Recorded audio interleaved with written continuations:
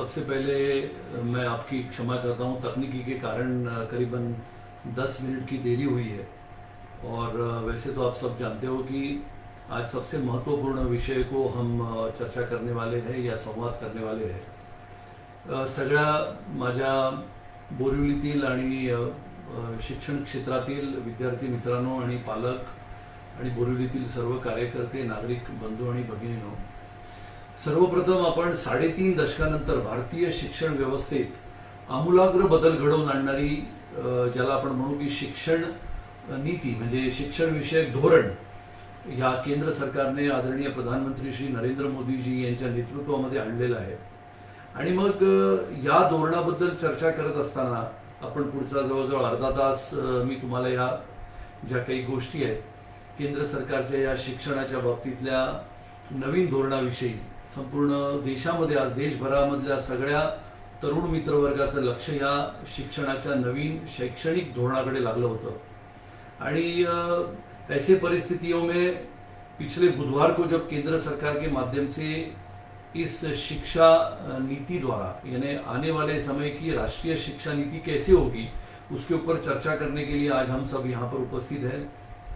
तुम्हा सगळ्यांना मी धन्यवाद देतो की पिछले कई वर्षों से if we think about the Indian education system since last so many years the Indian education system which is been really important not only for India but it is entirely uh, into the entire world.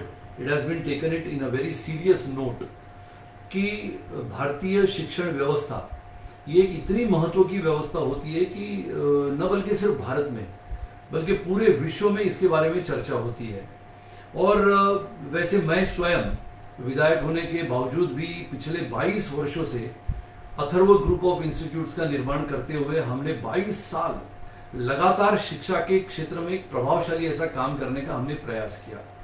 Engineering college, management college, hotel management, IT, film and television, fashion technology, space technology, space research, radar research robotics के माध्यम से एक नया research करते हुए हमने अथरो institutes को, पिछले 22 साल को हमने इनको इसको डेवलप किया है।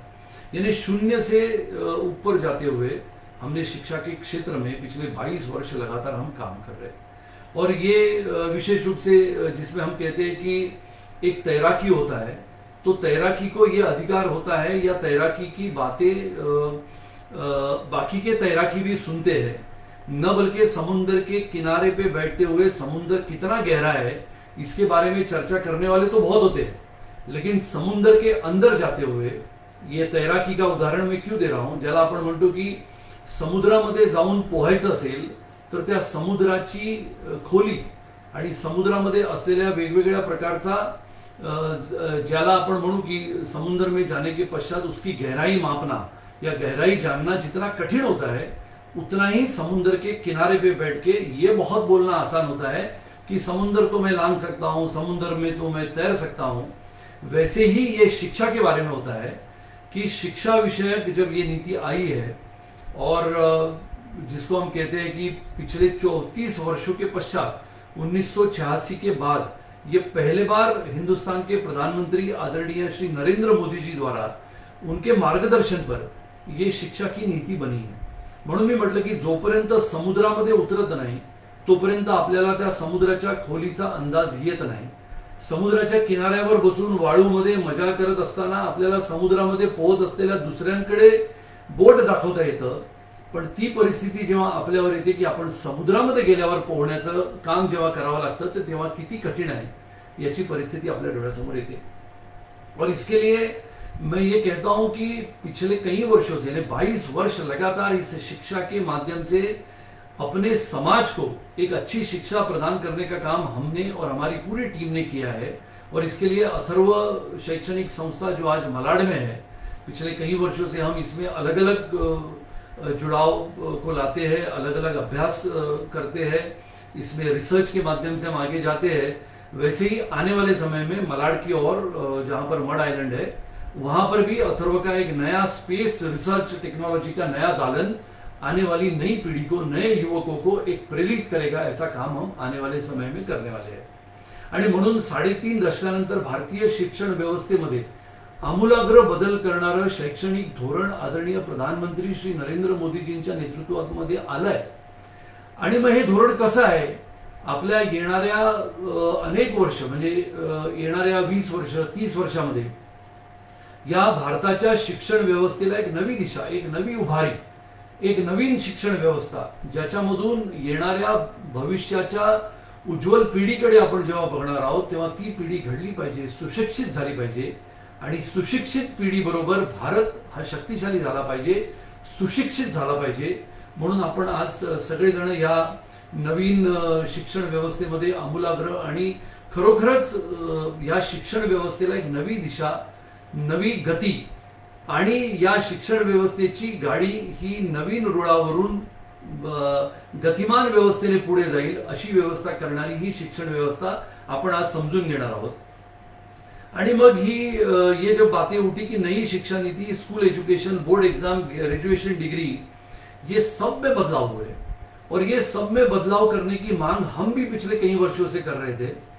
कि शिक्षा नीति में काम करने वाले या फिर शिक्षा क्षेत्र में काम करने वाले जितने प्रोफेसर यानी अध्यापक होते हैं प्रिंसिपल होते हैं रिसर्च के स्कॉलर होते हैं, सबकी ये मांग थी कि 1986 में पॉलिसी बनी थी।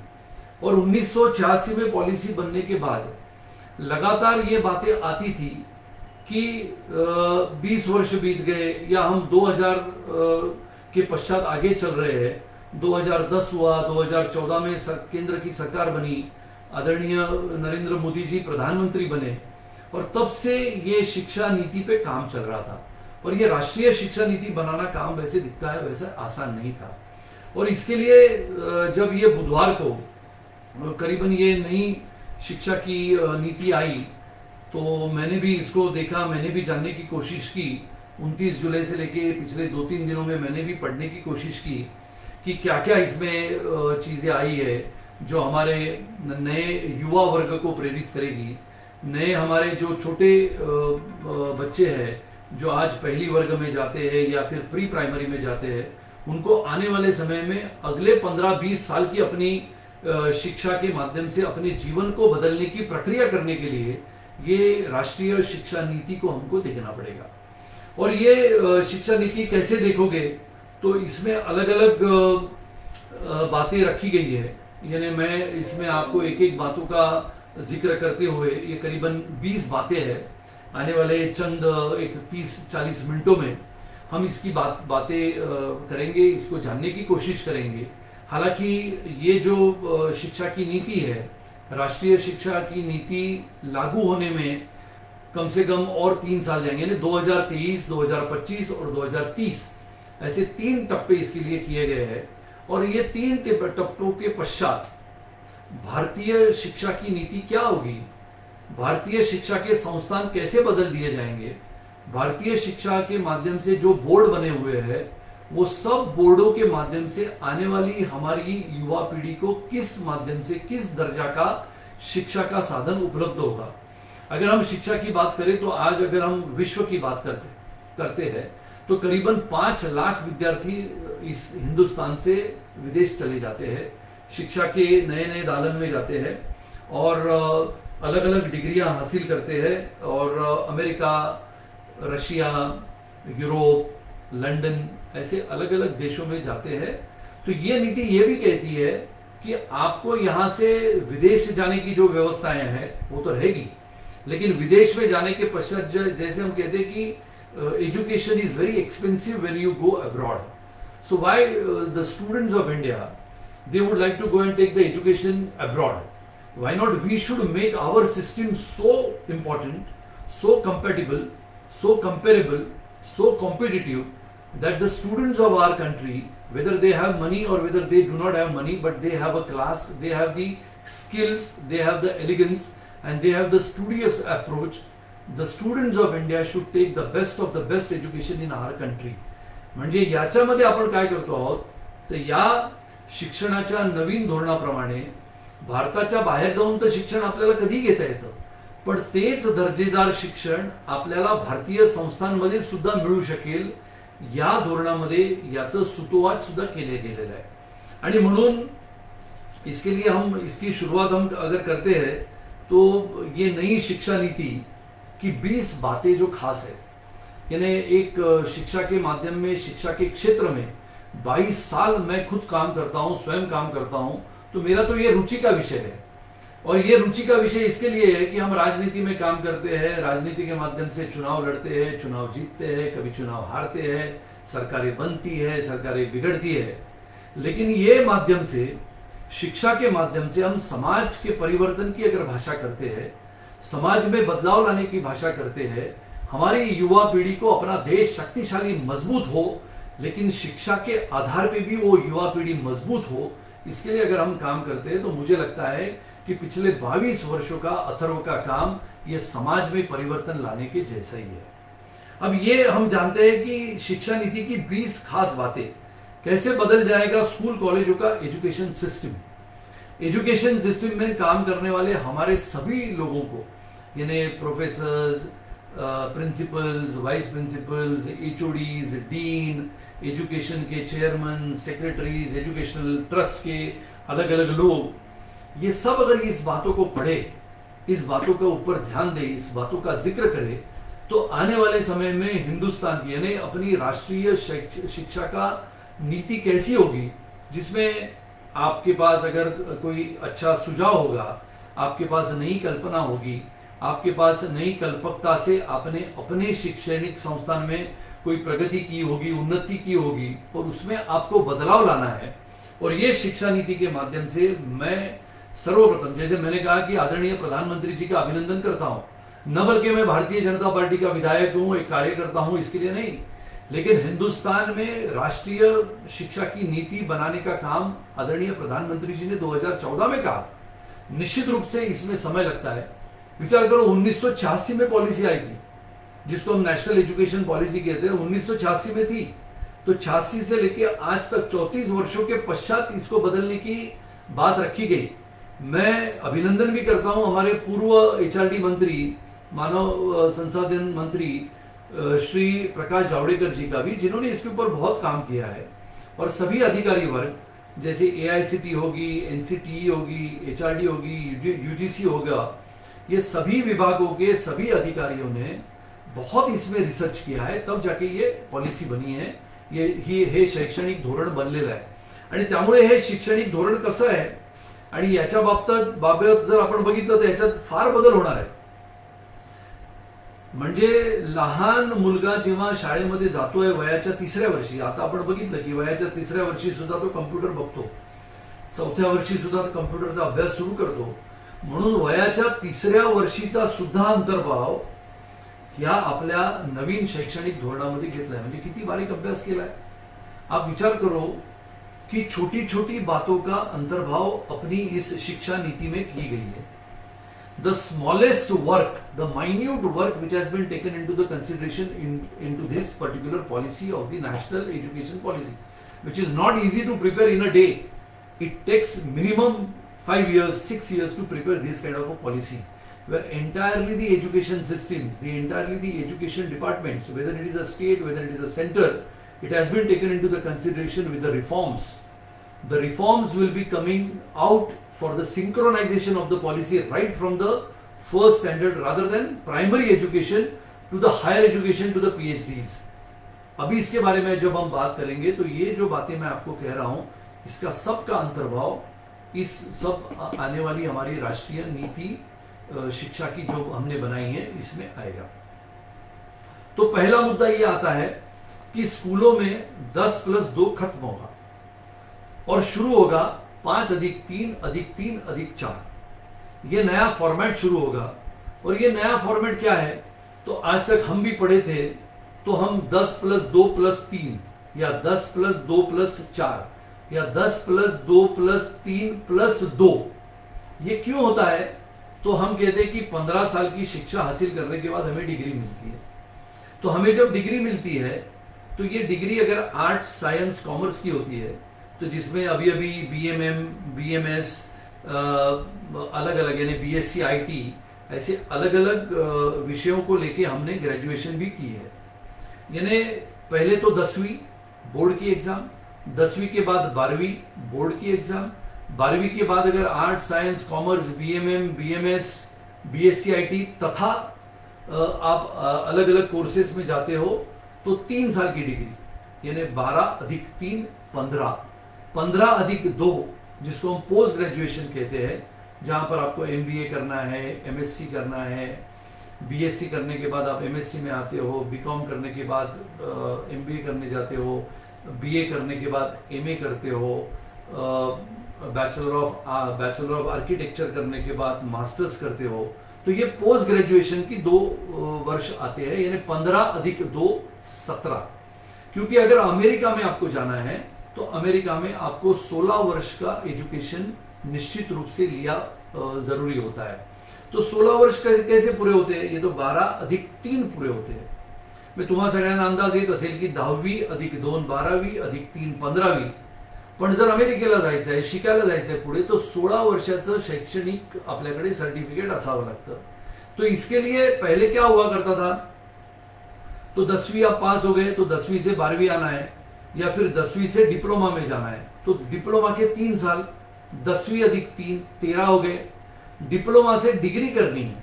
उदाहरण तौर पे अगर इंजीनियरिंग की बात करें तो दसवीं से डिप्लोमा किया, डिप्लोमा से डिग्री में जाना है तो डिग्री में आप दूसरे वर्ष में आते हो। यानी वो तीन साल, यानी दसवीं अधिक तीन अधिक तीन, यानी सोलह साल तो आपको डिप्लोमा भी मिला, आपको डिग्री भी मिली। लेकिन आपने सोलह साल का शिक्षा हासिल की। दूसरा एक प्रयोग था कि दसवीं अधिक दो, बारहवीं अधिक चार। अधिक चार में क्या आता है? तो उदाहरण तौर पे समझो इंजीनियरिंग आती है तो आपको चार वर्ष के पश्चात इंजीनियरिंग की डिग्री मिलती थी। अब इसमें क्या किया है? बहुत बहुत ही अच्छी ये नीति बनाई है।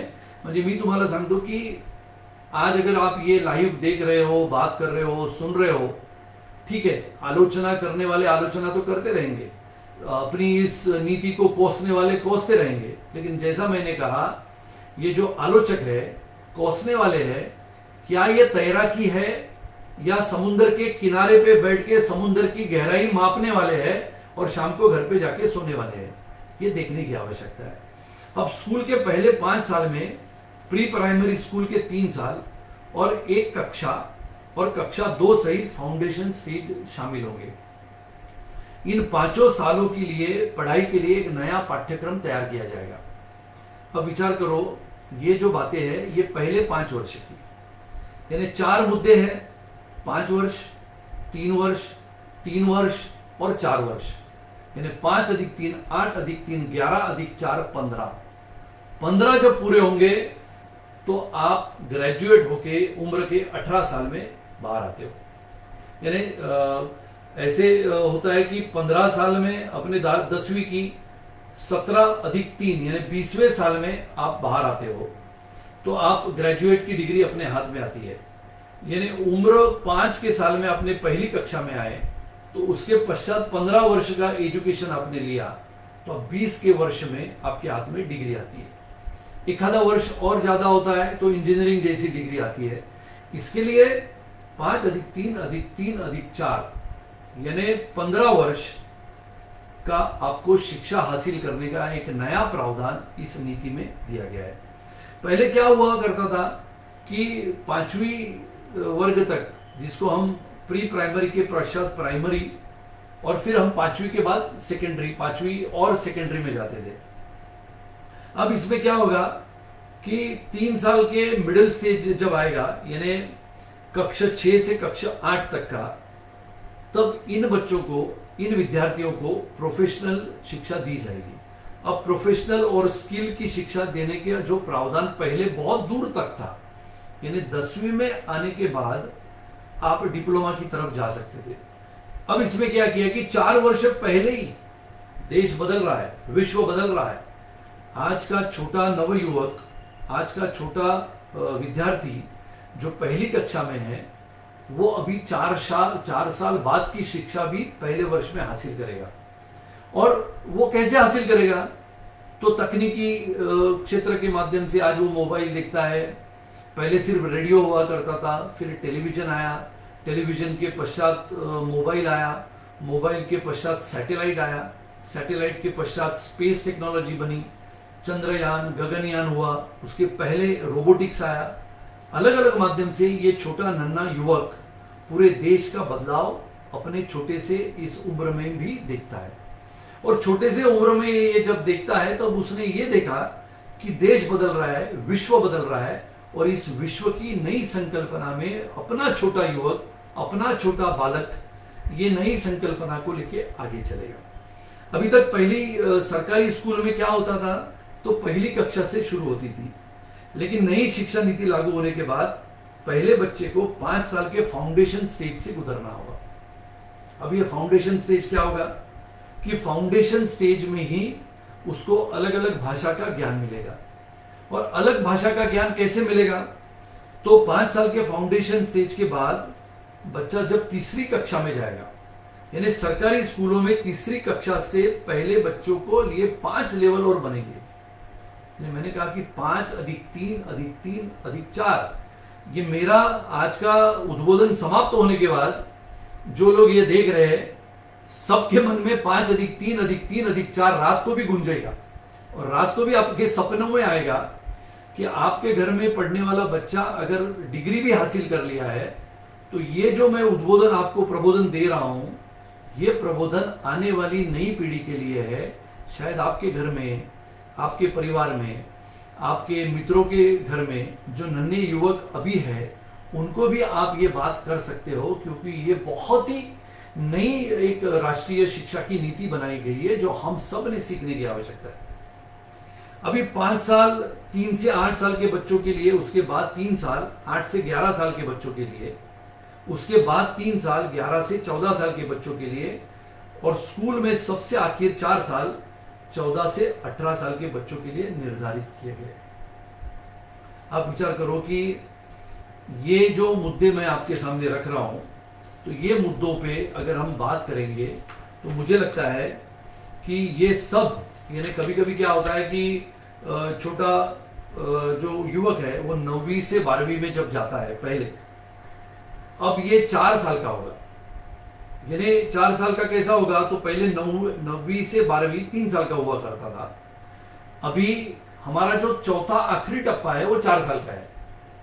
तो ये आखिरी टप्पे में जो युवक आएगा, पहली पांचवी कक्षा, फिर आठवीं कक्षा, फिर ग्यारहवीं कक्षा, यानी पाँच अधिक तीन आठ हुए, आठ अधिक तीन ग्यारह हुए, और ग्यारह से चार पंद्रह हुए, जो पहले नौ और तीन हुआ करते थे। अभी ये ग्यारह और चार हो जाएँगे, यानी शिक्षा उतनी ही लेकिन शिक्षा जो उतनी है, जो हम लगातार कहते थे कि विदेश चले जाओ तो पांचवी कक्षा में पढ़ने वाले उनके विद्यार्थी अपने विद्यार्थियों से कभी कभी लगते थे कि बहुत ही स्मार्ट है।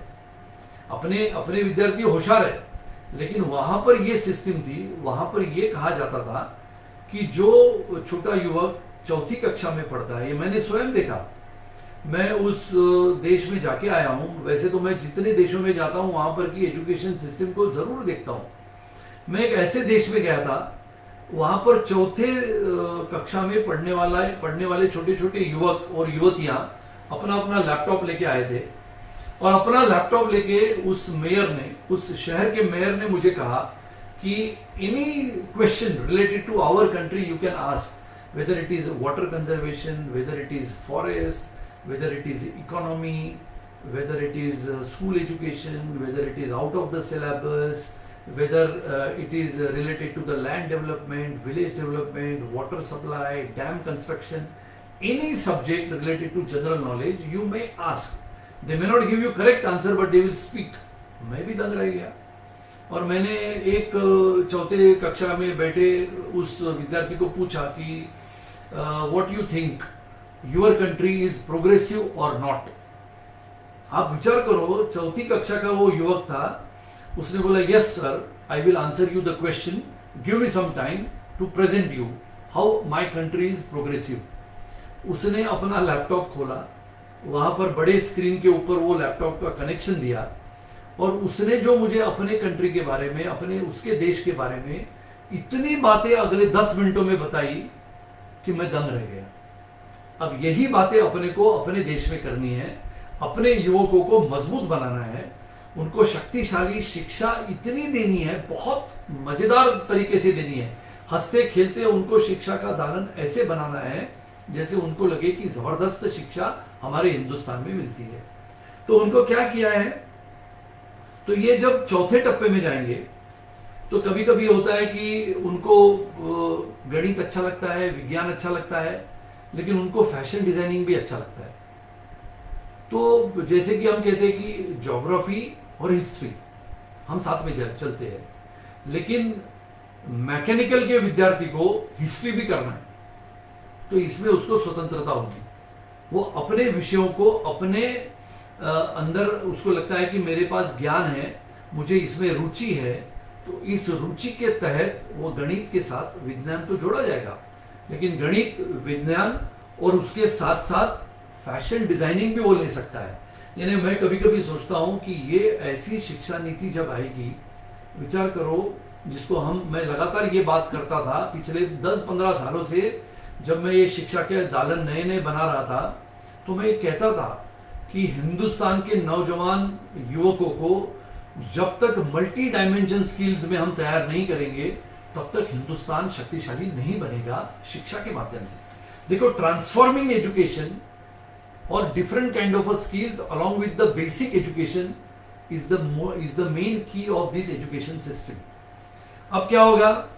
पहले पहले वर्ग में एक से दस हम जनरल नॉलेज देते थे। अब क्या होगा? ये जनरल नॉलेज के साथ साथ हमें स्किल्स का भी डेवलपमेंट करने को मिलेगा। और ये स्किल्स डेवलपमेंट हमको आप छठवीं कक्षा में जब जाओगे तो छठवीं कक्षा से ही आपको मिलेगा। यानी इसमें तो ये भी लिखा गया है कि दूसरे नंबर का जो मुद्दा है कि मराठी में जिसको कहा है कि सहाव्या इयत्तेमध्ये रोज़गार शिक्षण। The six standard will give you the education related to the employment तब आपकी उम्र कितनी होगी? तो 11 साल की। यूएस से लेके बहुत अलग अलग जगहों पे 13-14 साल में बच्चों को वो एजुकेशन दिया जाता है जिसके माध्यम से वो अपने पैरों पे खड़े हो।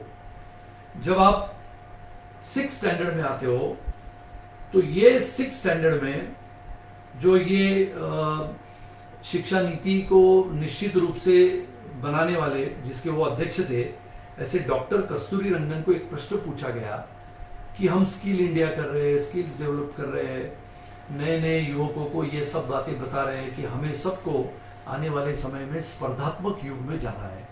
जहाँ पर स्पर्धा होगी, जहाँ पर कंपटीशन होगा, जहाँ पर एक जैसे हम स्पोर्ट्स में कहते हैं कि मैराथन दौड़ना है तो हमें तैयारी करनी पड़ेगी।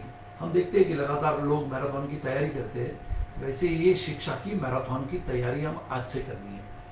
तो दूसरे नंबर पे क्या कहते हैं कि छठवीं कक्षा में जब आओगे तो आपको एम्प्लॉयबिलिटी का हम एजुकेशन देना शुरू करेंगे। तो कैसे करेंगे? तो professional education with skills development तो प्रोफेशनल एजुकेशन तो हम देंगे ही। स्किल्स भी डेवलप करेंगे। जैसे कि कारपेंट्री हम सिखाते थे जब आप आईटीआई में जाते थे। आपको इलेक्ट्रिकल वर्क हम सिखाते थे, यानी अपनी सिस्टम सिखाती थी। जब आप आईटीआई या फिर मैकेनिकल या फिर डिफरेंट इलेक्ट्रिकल इंजीनियरिंग या डिप्लोमा में प्रवेश लेते थे। हमें ये सब कभी से सिखाना है। तो छोटा छोटा उनको सिखाना है कि अगर इलेक्ट्रिकल में टेस्टर क्या होता है बटन क्या होता है प्लग क्या होता है थ्री सॉकेट कैसे होता है 150 एम्पियर क्या होता है 210 एम्पियर क्या होता है, ये छोटी छोटी बातें उनको लगाव से सिखानी है, जो अपने छठवीं कक्षा से शुरू होगी। इसमें और एक बात कही गई है कि इंटर्नशिप इंटर्नशिप माने क्या है? तो छठवीं कक्षा के जो बच्चे होंगे, जो छोटे युवक होंगे, विद्यार्थी होंगे, उनको दस दिन, पंद्रह दिन अलग अलग इंडस्ट्री का दौरा किया जाएगा। और उनमें उनको दिखाया जाएगा कि मैकेनिकल इंडस्ट्री है तो कैसी है इलेक्ट्रिकल इंडस्ट्री है तो कैसी है टेलीकॉम इंडस्ट्री है तो कैसी है कंप्यूटर की इंडस्ट्री है तो कैसी है, जैसे खाने की इंडस्ट्री है तो कैसी है पिज़्ज़ा, जैसे कि छोटे छोटे लोगों को अलग अलग खाने के पदार्थों में रुचि होती है। तो बड़े बड़े रेस्टोरेंट्स कैसे बनते हैं? तो ये सब रेस्टोरेंट से लेके टेलीकॉम तक, चंद्रयान से लेके कंप्यूटर तक अलग अलग विषयों की रुचि स्किल्स जो है, वो रुचि के माध्यम से छठवीं कक्षा से डेवलप किए जाएँगे, इन्हें बताते जाएँगे। अब ये विचार करो कि स्कूल में प्रैक्टिकल के माध्यम से ये पहले नहीं हुआ करता था।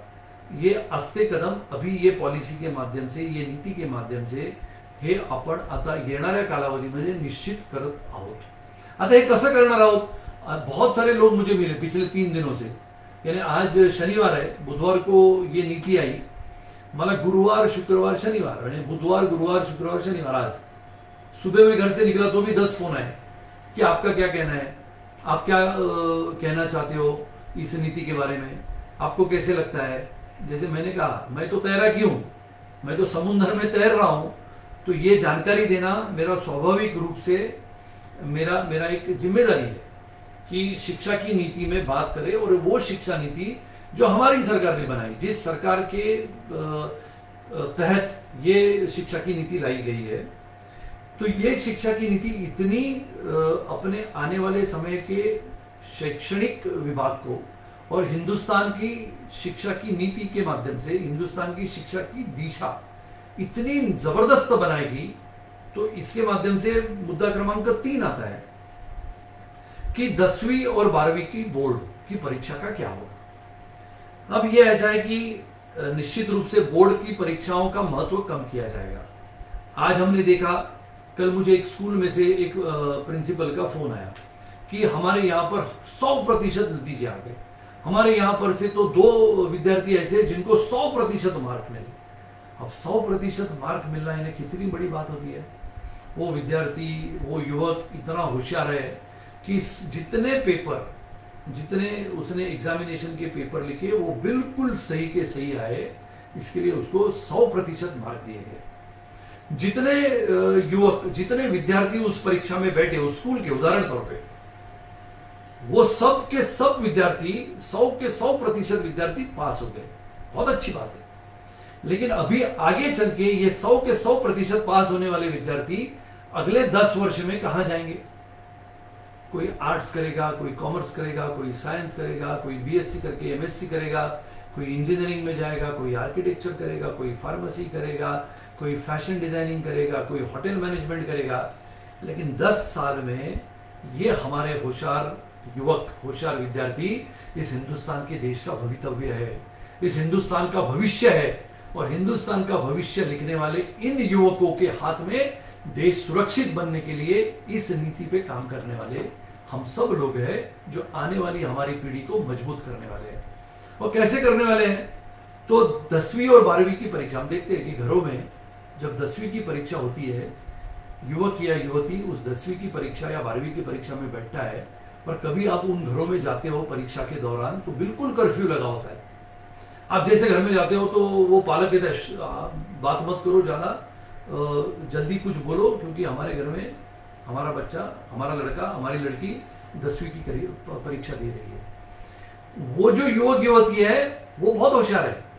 वो इस परिस्थिति को देखती है, बहुत सहजता से काम करती है, सहजता से अभ्यास करती है, लेकिन हमारे जो पालक होते हैं वो पालक J double E I triple E NEET, जीत, ये सब परीक्षाओं को ध्यान में रखते हुए उसके ऊपर इतना बोझ डालते हैं कि वो बेचारा युवक और युवती वो विद्यार्थी थका हुआ, भागा हुआ, एक कोने में कहीं दो पुस्तक लेके बैठता है। वो कभी कभी कहता है कि मैं कितना भी अभ्यास करूँ तो भी मुझे पचहत्तर प्रतिशत आने वाले आज देखो, अखबार में एक किस्सा आया है। एक बच्चा अपने, एक युवक अपने घर से विद्यार्थी भाग गया। क्यों भाग गया? उसको डर लगा कि मुझे पचहत्तर प्रतिशत मार्क नहीं मिलेंगे तो मुझे माता पिता घर में कुछ बोलेंगे तो वो युवक भाग गया। कल नतीजे आए, दसवीं के तो दसवीं के नतीजे आए तो उसको उनस्सी प्रतिशत मार्क मिले। तो उसने कहीं से तो फ़ोन किया अपने माता पिता को कि क्या आप खुश हो तो मैं आता हूँ। तो माता पिता बोले, हम तो खुश है, आपको तो उनस्सी परसेंट मार्क मिले। तो उस बच्चे ने कहा कि ये तो मैं कह ही रहा था कि मुझे 75 से 80 प्रतिशत आ सकते हैं मुझे खेलने भी दो और पढ़ाई भी करने दो।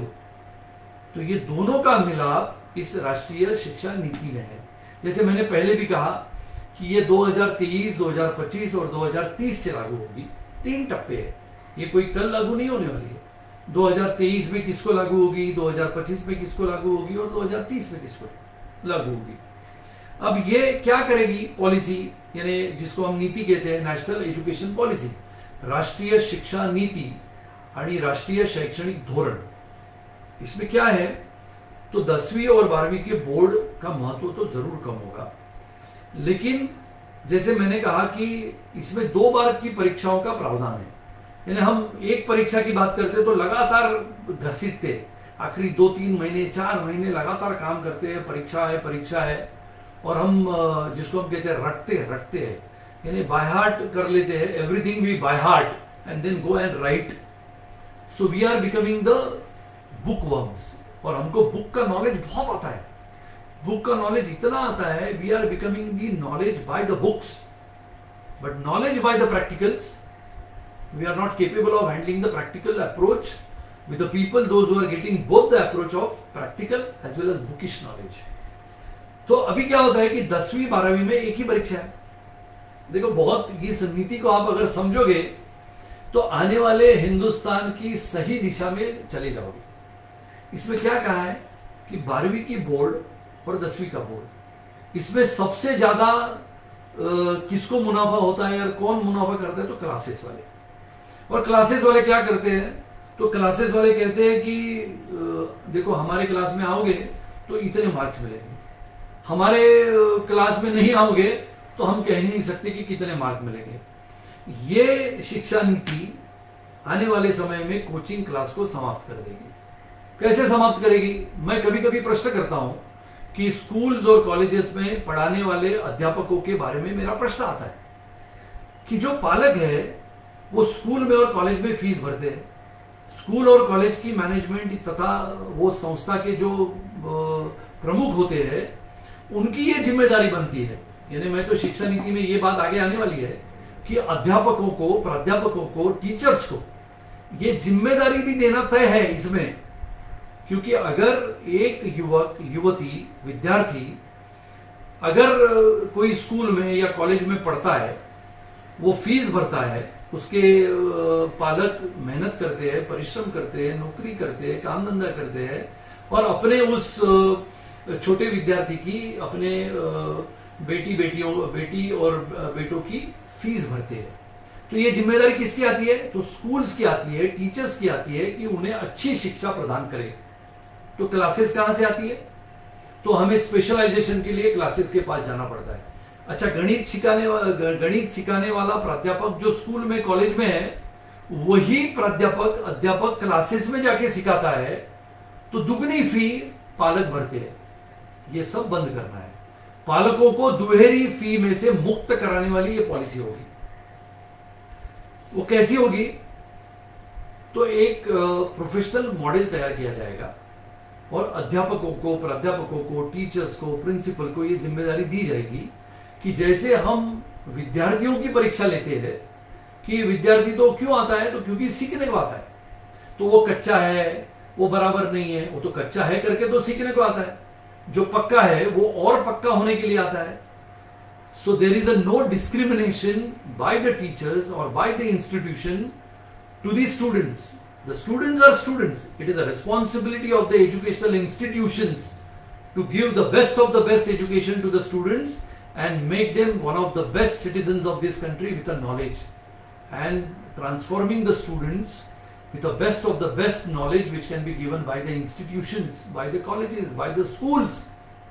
And if the schools are going to be failed, the colleges are going to be failed in it, then only it is going to become the mushrooming of the different different coaching classes where the parents are paying the heavy fees. आपके ध्यान में आया, आया होगा कि board की exam pass होना है तो हमारे पास आओ। पिछले महीनों में ही हाईकोर्ट ने एक ऐसा निर्णय दिया कि बहुत सारे कोचिंग क्लास को बंद कराया गया। क्यों कराया गया? क्योंकि आपके स्कूल में जो शिक्षा देने का काम है जहाँ पर आपने फ़ी भरी है वो स्कूल का काम है उन्होंने करना ही चाहिए। और इसके लिए मैं सभी पालकों से ये निवेदन करता हूँ कि अपने अपने बच्चों के लिए आपने कॉलेजेस के माध्यम से स्कूल के माध्यम से जो कॉलेज आपने चुने हैं ये उनकी ज़िम्मेदारी है कि आपके बेटी बेटों को अच्छी शिक्षा वो दे अच्छा प्रावधान करे और अच्छी शिक्षा देने का उनका काम जो है वो पूरा करे, इसके लिए आपने भी ध्यान रखने की आवश्यकता है। चौथा मुद्दा जो है, ये चौथे मुद्दे में सबसे सबसे महत्वपूर्ण बात है। और सबसे महत्वपूर्ण बात क्या है कि जब हम कहते हैं कि हम एजुकेशन तो लेते हैं, शिक्षा तो लेते हैं। कभी कभी ये बातें आती है कि वर्नाक्यूलर मीडियम आप तो वर्नाक्यूलर मीडियम से हो। हम भी तो वर्नाक्यूलर मीडियम से है। हमारे ज़माने में तभी, जैसे मैं बालमोहन विद्या मंदिर में पढ़ा। आज भी बालमोहन विद्या मंदिर एक नामांकित ऐसी शैक्षणिक संस्था है। हमने कभी नहीं कहा कि हम मराठी में पढ़े, अब हमारा क्या होगा? How can we be in a position to speak in English so हमने भी स्वयं को विकासित कर दिया, स्वयं का विकास भी कर दिया आजू बाजू में चलने वाली बातों के ऊपर ध्यान दिया, गौर किया, और लगन से पढ़ना हमने जारी रखा। तब जाके ये बातें मन में आई कि आपने अपनी शिक्षा अगर अच्छी हासिल करनी है तो ये बात भी महत्व की आती है कि आप कौन से स्कूल में पढ़ते हो। लेकिन ये महत्व का नहीं होता है कि आपने अगर महानगर पालिका की स्कूल में शिक्षा हासिल की है तो आप साइंटिस्ट नहीं बन सकते हो, ऐसा कोई नहीं है। ये आपके ऊपर निर्भर करता है। जैसे आत्मनिर्भर भारत, यानी भारत ये अपने पैरों पे खड़ा होगा, वैसे स्वयं निर्भर जो स्वयं प्रकाशित होता है, उसको स्वयं के बारे में ये सोचना पड़ता है कि मुझे क्या क्या सीखना है। ये चौथा मुद्दा जो है, ये मातृभाषित, मैंने ज़्यादा मराठी म्हणतो की मातृभाषा में पांचवी तक का शिक्षा। हमने ये नहीं कहा है शिक्षा की नीति में कि आप अंग्रेज़ी में मत पढ़ो, अंग्रेज़ी में पढ़ना चाहिए। आने वाले इंटरनेशनल एजुकेशन के तहत हमें इंग्लिश तो आनी भी चाहिए। लेकिन जो हम कहते हैं कि मैंने कभी कभी तो देखा है कि मैं जिस घर में जाता हूँ, वो मराठी परिवार है छोटे से गाँव में से आते हैं, और उनका नन्ना सा युवक इंग्लिश में बात करता है। बहुत अच्छी बात है। लेकिन माता पिता जो मराठी भाषा करते हैं, उनका नन्ना सा युवक इंग्लिश में बोलता है, बहुत अच्छी बात है। लेकिन उसको अपनी मराठी मातृभाषा अगर है कोई भी है, मराठी है, तमिल है, तेलुगु है, गुजराती है, मारवाड़ी है, पंजाबी है, जो भाषा उसकी मातृभाषा है, उसको मातृभाषा आनी चाहिए। और मातृभाषा का प्रेम, देखो, हर राज्य में चले जाओ तो हर राज्य में ये बात है कि आप चेन्नई में चले जाओ, तमिलनाडु में चले जाओ रिक्शा वाला आपको तमिल या तेलुगु में ही बोलता है। केरला में चले जाओ, वो तमिल तेलुगु का ही प्रयोग करते हैं। कर्नाटक में चले जाओ कन्नड़ का ही प्रयोग करते हैं या मलयालम का प्रयोग करते हैं। तो ये भाषा का प्रयोग करने वाले उसी राज्यों में चले जाओ तो उड़ीसा में चले जाओ, उड़िया होती है। पश्चिम बंगाल में चले जाओ, बंगाली में बोलते हैं। महाराष्ट्र में आओ तो मराठी बोलना, ये तो मातृभाषा है। और मातृभाषा का अभिमान हर राज्य के उस नागरिक को होता है, जो उस उस राज्य में जिसका जन्म होता है। और इसके लिए ये बहुत अच्छी बात इसमें कही गई है कि मातृभाषे मातृभाषे मातृभाषेमध्ये मदर टंग में आपको पांचवी तक का शिक्षण होगा। यानी क्या होगा? तो आप पांचवी तक की कक्षा में अंग्रेज़ी भी पढ़ोगे, अपनी मातृभाषा में भी पढ़ोगे तो अपने गाँव में जिस दिन जाओगे, बहुत बड़े बन गए, बिल गेट्स बन गए तो आप जिस दिन गाँव में चले जाओगे तो कम से कम अपनी मातृभाषा का तो अभिमान होगा, मातृभाषा में बात तो कर सकते हो। इसके लिए पांचवी तक की कक्षा तक मातृभाषा में पढ़ाई हो सकती है। और और एक बात इसमें कही है कि आठवीं तक, यानी आठवीं तक भी आपको करना है तो आठवीं तक भी कर सकते हो। तो इसके लिए मैं इसको बहुत ही जिसको हम कहते हैं कि आनंद स्वरूप में लेता हूँ, क्योंकि हम हिंदी अपनी राष्ट्रभाषा है। बहुत सारे लोग कहते हैं कि महाराष्ट्र में हो तो हिंदी क्यों बोलते हो? लेकिन हिंदी अपनी राष्ट्रभाषा है, मराठी अपनी मातृभाषा आहे आणि मराठीचा अभिमान आणि स्वाभिमान आपल्या प्रत्येक मराठीला असला पाहिजे तो हृदयात असला पाहिजे, बोलता आलं पाहिजे मराठी भाषेवरचं प्रेम. हे जेव्हा जेव्हा आपण मराठी भाषा बोलतो वापरतो प्रयोग करतो त्याच्यामध्ये ते दिसून आलं पाहिजे. आणि म्हणून मराठी हिंदी इंग्रजी आणि त्याच्याबरोबर एखादी आंतरराष्ट्रीय दर्जाची भाषा जेव्हा तुम्हाला येत असेल तर मी निश्चितपणाने सांगतो त्या युवक आणि युवतीचा आत्मविश्वास इतका प्रचंड असतो की कोणत्याही विषयामध्ये त्या विषयाचा अभ्यास करून तो युवक किंवा युवती जेव्हा आपल्यासमोर बोलते तेव्हा आपल्याला वाटतं की हा ही व्यक्ती या पद्धतीचा अभ्यास करून जेव्हा आपल्यासमोर येते त्याच्या मूळ स्वरूपामध्ये काय असतं? तर भाषेचा अभ्यास which is called the language studies and that's why it is very important for all of you to study the languages and read आणि याच्यामध्ये पुढे पुढे आपण जाऊ. वैसे मैंने कहा की there are twenty points and twenty points even though to finish in one hour is very difficult तो मुझे ऐसा लगता है कि भले थोड़ा सा देर हो जाए लेकिन आज हम ये इसको पूरा करेंगे। और पूरा करते करते मुझे ऐसा लगता है कि ये जो बातें हैं कि रीडिंग इज मस्ट याने वाचन हे कंपल्सरी केलं पाहिजे. आजच्या मुला मुलींना मोबाईल हातात आल्यानंतर ते वाचनाकडे झालेलं दुर्लक्ष या शिक्षणाच्या नवीन शैक्षणिक धोरणामध्ये सुद्धा घातलं गेलं आहे पाचवा मुद्दा ऐसा आहे की इनके मूल्य के आधार यानी इनके मार्क सिस्टम कैसी होगी? तो इनके मार्क सिस्टम बहुत ही सुंदर तरीके से किए गए हैं। पहले बार क्या होता था कि अपने अपने शिक्षक इसको मार्क्स देते थे, फिर अपना रिपोर्ट कार्ड बनता था और वो रिपोर्ट कार्ड अपने पास आता था। तो ये रिपोर्ट कार्ड अभी कैसे किया है? तो रिपोर्ट कार्ड में बदल होगा, जिसको हम कहते हैं कि वैल्यूएशन और the analysis of the students report और his review to be taken by the members by the teachers और बाय द प्रिंसिपल लेकिन इसमें कैसा किया है कि तीन प्रकार का होगा। जैसे आपने देखा होगा, मोदी जी बने, प्रधानमंत्री तो उन्होंने पहले क्या किया? अटेस्टेशन खारिज कर दिया। अटेस्टेशन के लिए किधर भी जाके लाइन लगाने की आवश्यकता नहीं है। आप अगर सही हो, आपकी मार्कशीट आपको मालूम है, आपने कोई फेरफार नहीं किए तो मार्कशीट पे आप खुद सिग्नेचर कर सकते हो, जिसको कहते हैं सेल्फ अटेस्टेशन इसमें पहला होगा, उसका मूल्यांकन कौन करेगा? कि मैं सही हूँ कि गलत है, वो युवक करेगा। यानी पहला हस्ताक्षर उसका आएगा कि मेरे मार्क्स, मेरा मूल्यांकन, मेरा self analysis is done by me personally. तो पर्सनली यानी कौन होता है? समझो मैं हूँ तो मैं आपके सामने आज बात कर रहा हूँ तो मुझे भी ये डर है कि मैं सच बोल रहा हूँ, झूठ बोल रहा हूँ या आपको मैं जो बता रहा हूँ वो वास्तविकता में कभी नहीं आएगा। तो ये मेरी ज़िम्मेदारी है। तो ये मेरा सेल्फ एनालिसिस है कि मैं आपके सामने जब आता हूँ तो क्या मैंने पढ़ाई की है? तो हाँ मैंने पढ़ाई की है। देखो, ऐसे सब पढ़ाई करता हूँ, रात भर बैठता हूँ, फिर आपके सामने आता हूँ। तो स्कूल का मूल्यांकन कौन करेगा? तो पहला वो विद्यार्थी करेगा। दूसरा कौन करेगा?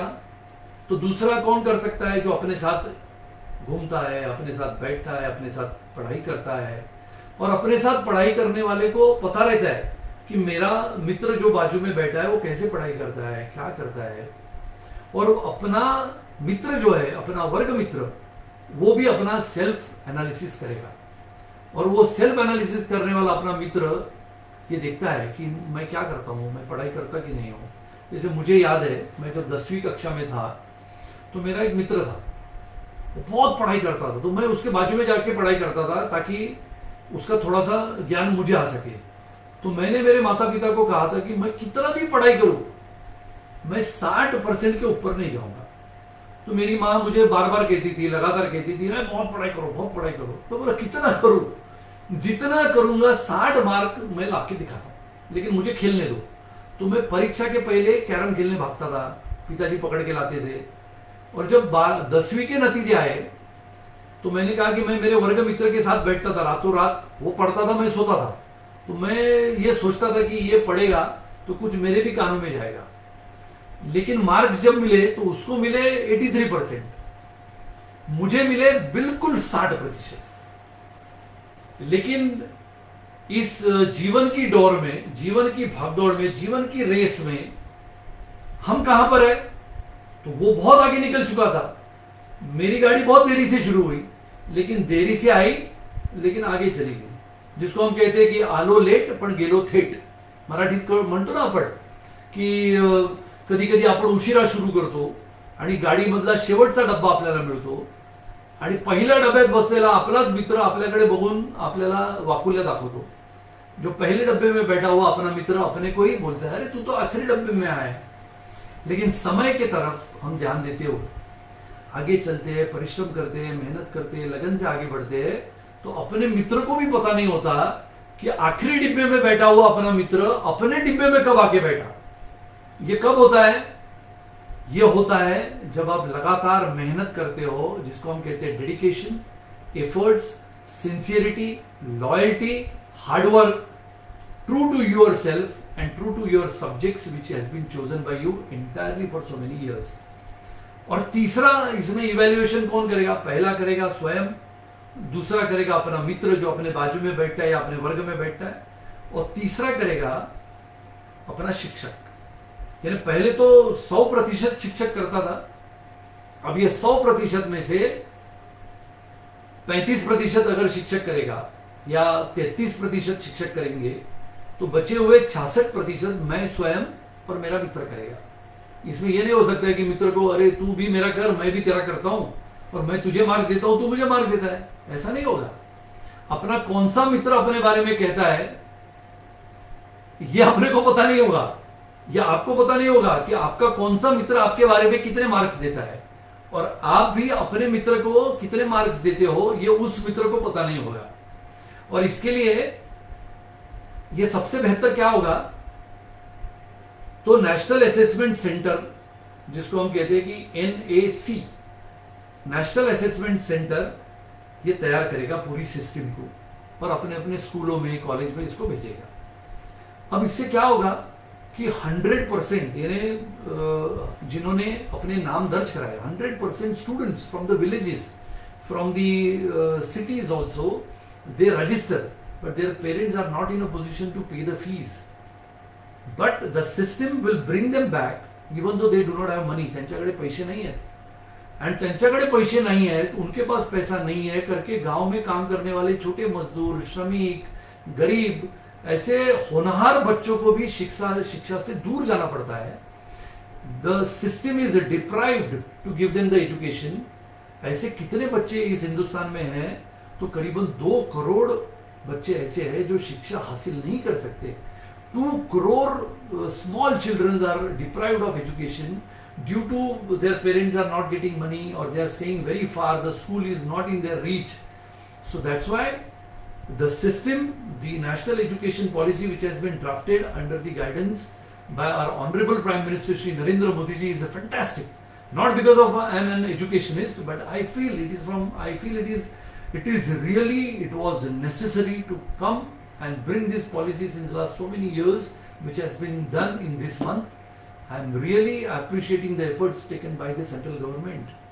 तो करीबन दो करोड़ बच्चों को इस सिस्टम पे लाया जाएगा और ये लाया कैसे जाएगा तो मैंने मैंने जैसे कहा कि ये तो पाँच मुद्दे हुए अब ये छठवां मुद्दा जो है अब छठवां मुद्दा इतना महत्व का है कि छठवें मुद्दे में degree entry three four years की डिग्री होती है। जैसे मैंने कहा कि B A B S C B com या या फिर B M M B M S ऐसे B S C I T अलग अलग है। वो तीन साल की है। इंजीनियरिंग आर्किटेक्चर ये सब डिग्री जैसे कि लॉ की है फोर प्लस वन की भी है थ्री की भी है फाइव की भी है। तो ये सब जो है फोर इयर्स की पदवी और पदवी का। फिर एकाधिक प्रवेश, यानी वन लाइन एंट्री और एग्जिट पहले एग्जिट नहीं हुआ करता था. एग्जिट क्या हुआ करता था? तो फेल ये जो मुद्दा है, ये मुद्दा मैं आपको एक घंटा भी समझा सकता हूँ. यानी जो इस शिक्षा प्रणाली में काम करते हैं, शिक्षा की संस्थानों में काम करते हैं, और जिन्होंने शिक्षा के संस्थान बनाए हैं, जो खुद तैराकी है, उनको तो ये सिस्टम में अभी थोड़े बहुत ये दिखेगा कि इसमें कुछ रिफॉर्म्स करने की आवश्यकता हम करेंगे। आप लिखित स्वरूप में हमारी केंद्र सरकार को भेजे। हम इसमें रिफॉर्म्स करने की भी आवश्यकता रखते हैं। क्या होता था? तो पहले एकाधिक प्रवेश और निर्गमन, यानी बहुस्तरीय प्रवेश, यानी मैं उदाहरण देता हूँ कि इंजीनियरिंग कॉलेज में आपको प्रवेश मिला। एक तो आप डिप्लोमा से डिग्री में आए, यानी वहाँ पर तीन साल का डिप्लोमा किया डिप्लोमा में पास हुए। सेकेंड ईयर इंजीनियरिंग में प्रवेश मिलना बहुत कठिन होता है। नब्बे प्रतिशत आपने डिप्लोमा में मार्क लिया। फिर भी ये जो पीछे लगाया ना अथर्व, इसमें भी प्रवेश मिलना संभव नहीं होता क्योंकि सरकार की जो यादियाँ आती है, वो हमारे पास बयानबे प्रतिशत, चौरानवे प्रतिशत में एडमिशन क्लोज होती है। और ये एडमिशन क्लोज होती है, यानी विचार करो मुंबई शहर में डिप्लोमा करके डिग्री में एडमिशन मिलना कितना कठिन है। तो अभी डिप्लोमा और डिग्री साथ में करने का एक मौका इस राष्ट्रीय शिक्षा की नीति ने दिया हुआ है। कैसे दिया है? कि आज अगर इंजीनियरिंग में, छठवें सेमेस्टर में आप हो, और कुछ कारणों के वश दुर्घटना पूर्वक ऐसी कोई घटना होती है कि आप आपके इंजीनियरिंग को पूरा नहीं कर सकते हो तो इंजीनियरिंग को पूरा न करने के लिए आपको इंजीनियरिंग छोड़ना पड़ता है। यानी आपने करीबन तीन साल की इंजीनियरिंग की शिक्षा हासिल की है six semester is normally in to the third year और थर्ड ईयर अपने पूरा करने के पक्ष पश्चात ऐसे लगता है कि मैं फोर्थ ईयर नहीं कर सकता हूँ। क्यों? मुझे एक तो मेरे पिताजी की बदली हुई है। मुझे गाँव छोड़ना पड़ रहा है, शहर छोड़ना पड़ रहा है। ऐसे में क्या कर सकते हो? तो ऐसे में आपको तीन साल अगर पूरे हुए तो ये राष्ट्रीय शिक्षा नीति के तहत आपको डिप्लोमा का सर्टिफिकेशन मिल सकता है। और डिप्लोमा का सर्टिफिकेट दो साल के बाद भी मिलेगा। अगर आपको लगा कि एक साल के पश्चात आपको इंजीनियरिंग की शिक्षा करने के लिए आगे चल के बहुत दिक्कत हो सकती है या मुझे नौकरी करनी है तो आपको एक साल के पश्चात भी उसमें से बाहर निकलने का प्रावधान है, अगर आपने सभी विषयों को पास किया होगा तो। ये सबसे बड़ा निर्णय है। तो संस्थानों के मन में यह विषय आ सकता है कि फिर इसकी एंट्री कैसी होगी? अगर हमने सौ विद्यार्थियों को प्रवेश दिया, उसमें से पचास तो पहले साल निकल गए। बचे हुए पचास दूसरे साल निकल गए तो तीसरे साल और चौथे साल में क्या करेंगे? तो ये जो मुद्दे हैं, ये मुद्दों को लिखे आने वाले समय में हमने इनको प्रश्न के बारे में ये सुझाव भेजने हैं। तो इसमें पहले साल की एंट्री में बाहर निकलना है तो कितने परसेंट निकल सकते हैं? दूसरे लेवल पे निकलना है तो कितने परसेंट को अलाउ किया जाएगा? जिनको तीन साल की डिग्री हासिल करनी है तो उनको उच्च शिक्षण यानी जिसको हम कहते हैं कि तीन साल की जो डिग्री है, तीन साल की पदवी जो है, जैसे मैंने कहा B A B S C B com चार साल की डिग्री है, वो इंजीनियरिंग के ऊपर है, यानी इंजीनियरिंग है आर्किटेक्चर है लॉ है, चार प्लस की है. तो अभी क्या होगा कि दो साल में अगर इंजीनियरिंग छोड़ दी तो उनको डिप्लोमा मिलेगा. पाँच साल का एक नया कोर्स आएगा, जो अभी चार से, यानी आपने इंजीनियरिंग अगर किया तो फोर प्लस टू आपको एमबीए करना पड़ता है। तो आपको अगर एमबीए चार, दो साल का करना है तो इंजीनियरिंग या फिर अलग बी बीए बीएससी बीकॉम तीन साल करके आप वहाँ पर चले जाते हो तो आपका एक साल कम करके आपको इंजीनियरिंग के साथ ही एमबीए को जोड़ा जाएगा यानी आप पाँच वर्ष में इंजीनियरिंग तथा एमबीए करके निकल सकते हो। तो ऐसे करने से क्या होगा? जैसे इसको पाँच साल का पदवीधर मास्टर बोल सकते हैं, यानी ग्रेजुएट अलोंग विथ मास्टर्स यानी ग्रेजुएट होने के पश्चात आपको मास्टर्स करना पड़ता था। तो ये साथ में ही आप कर सकते हो।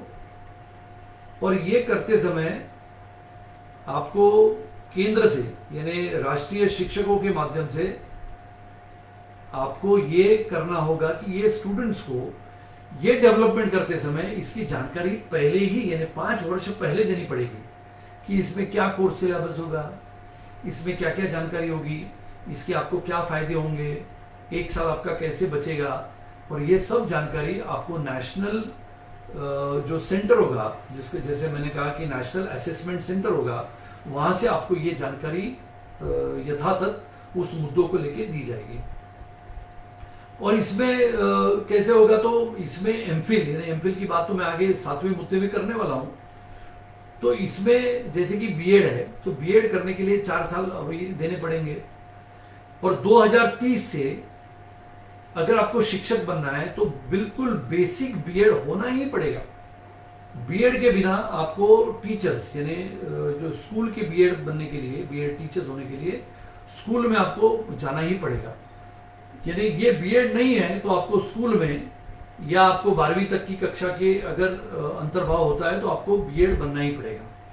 और 2030 के पश्चात इसको हर 10 साल में इसका ग्रेडेशन करना पड़ेगा। और ये ग्रेडेशन कैसे होगा? तो टीचर्स अगर आपने बीएड कर लिया तो आपको टीचर्स बनने के लिए एक पारदर्शी पद्धति इसमें अवलंबित कर दी जाएगी। If you are a B.Ed certified teacher, you have a degree of B.Ed. So once you have a degree of B.Ed, then you have to go under the different kind of a examinations to get involve yourself as a teacher, to get recruited as a teacher. और ये पद्धत बहुत ही प्रभावी और पारदर्शक प्रक्रिया से केंद्र सरकार इसकी शिक्षकों की भर्ती की जाएगी और जिसके ऊपर से प्रमोशन होगा परफॉर्मेंस बेस्ड प्रमोशन आने वाला है मैंने दस साल नौकरी की, लेकिन मेरा परफॉर्मेंस ज़ीरो है। मुझे नंबर गेम है करके मेरे संस्था ने मुझे रखा कि मुझे पचास टीचर्स होने की आवश्यकता है। तो मैंने पचास टीचर्स रखे। अब वो क्या करते हैं, कैसे पढ़ाते हैं विद्यार्थियों का भवितव्य उनके ऊपर निर्भर है कि नहीं है? तो विद्यार्थी तो बेचारे मेहनत करते हैं, परिश्रम करते हैं क्योंकि उनका भविष्य है। लेकिन क्या शिक्षक उनके भवितव्य के ऊपर ध्यान देते हैं? हर विद्यार्थी अच्छी शिक्षा हासिल करे, करके शिक्षक प्रयास करता है कि नहीं है, ये देखने वाली राष्ट्रीय नीति इसमें लिखाई गई है। तो हर बार इनका भी मूल्यांकन किया जाएगा। किसका? हमने कहा कि विद्यार्थियों का तो मूल्यांकन किया जाएगा, लेकिन ये मूल्यांकन शिक्षकों का भी किया जाएगा। ये तो मांग में पिछले कई वर्षों से करता था कि हम लगातार कहते हैं, नहीं नहीं, ये विद्यार्थी है ना, बराबर नहीं है। ये युवक है ना, बराबर नहीं है, ये क्लास अटेंड नहीं करता है। ये लड़की है ना, होशियार नहीं है। ये लड़का है ना, ये क्लास में आता ही नहीं है। हम उनको क्यों दोष देते हैं? मुझे समझ में नहीं आता है। मैंने तो हमारे इधर ये कहा है कि हमने विद्यार्थियों को दोष नहीं देना है। ये संस्था और शिक्षक, या फिर एजुकेशन इंस्टीट्यूशन और प्रोफेसर्स ये इनकी ज़िम्मेदारी है कि आपके क्लास में अगर वो स्टूडेंट्स वो विद्यार्थी बैठता नहीं है इसका मतलब है आपका स्टैंडर्ड अच्छा नहीं है। अगर हम सिनेमा हॉल में जाते हैं, अगर पिक्चर अच्छा नहीं है तो हम बाहर जाते हैं कि नहीं? जाते हैं। हम बोलते हैं क्या ये पिक्चर का हमने टिकट लिया? तो ये विद्यार्थियों का ये नहीं है, ये बात नहीं है। मैं तो कहता हूँ कि शिक्षक और संस्था, ये दोनों जिम्मेदार है। अगर सौ प्रतिशत, मान लो कुछ गड़बड़ी होती है, कोई विद्यार्थी आता नहीं है, बीमार है, घर में कुछ प्रश्न है तो मैं समझ सकता हूँ। लेकिन विद्यार्थी तुम्हारे क्लास में नहीं बैठता, वो बंक करता है, नहीं, वो घूमता है, उसको कोई इंटरेस्ट नहीं है। इंटरेस्ट क्यों नहीं है?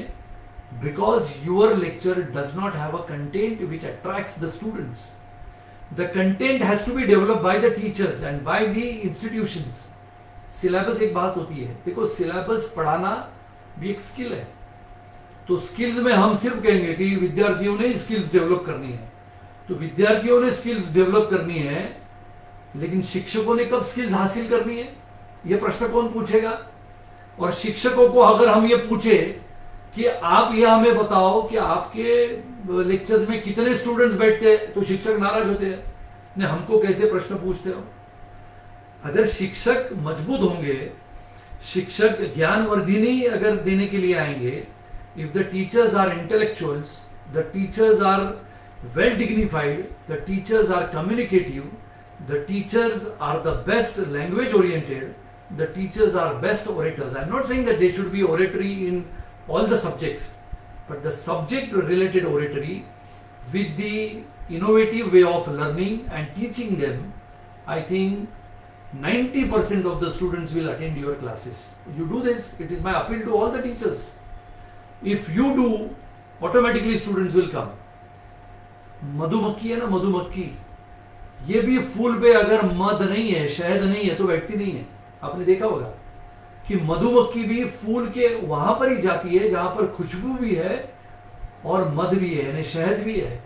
वैसे ही हमारे बच्चे हैं कि अगर हमारे स्टूडेंट्स को यही नहीं पता होगा कि मेरा शिक्षक मुझे क्या पढ़ाने वाला है तो वो बेचारा स्टूडेंट एडमिशन तो ले लेता है, क्योंकि उस इंस्टीट्यूशन की चकाचौंध प्रमोशन से वो एडमिशन तो लेता है, लेकिन एडमिशन लेने के पश्चात उसको लगता है कि ये तो अंदर कुछ नहीं है।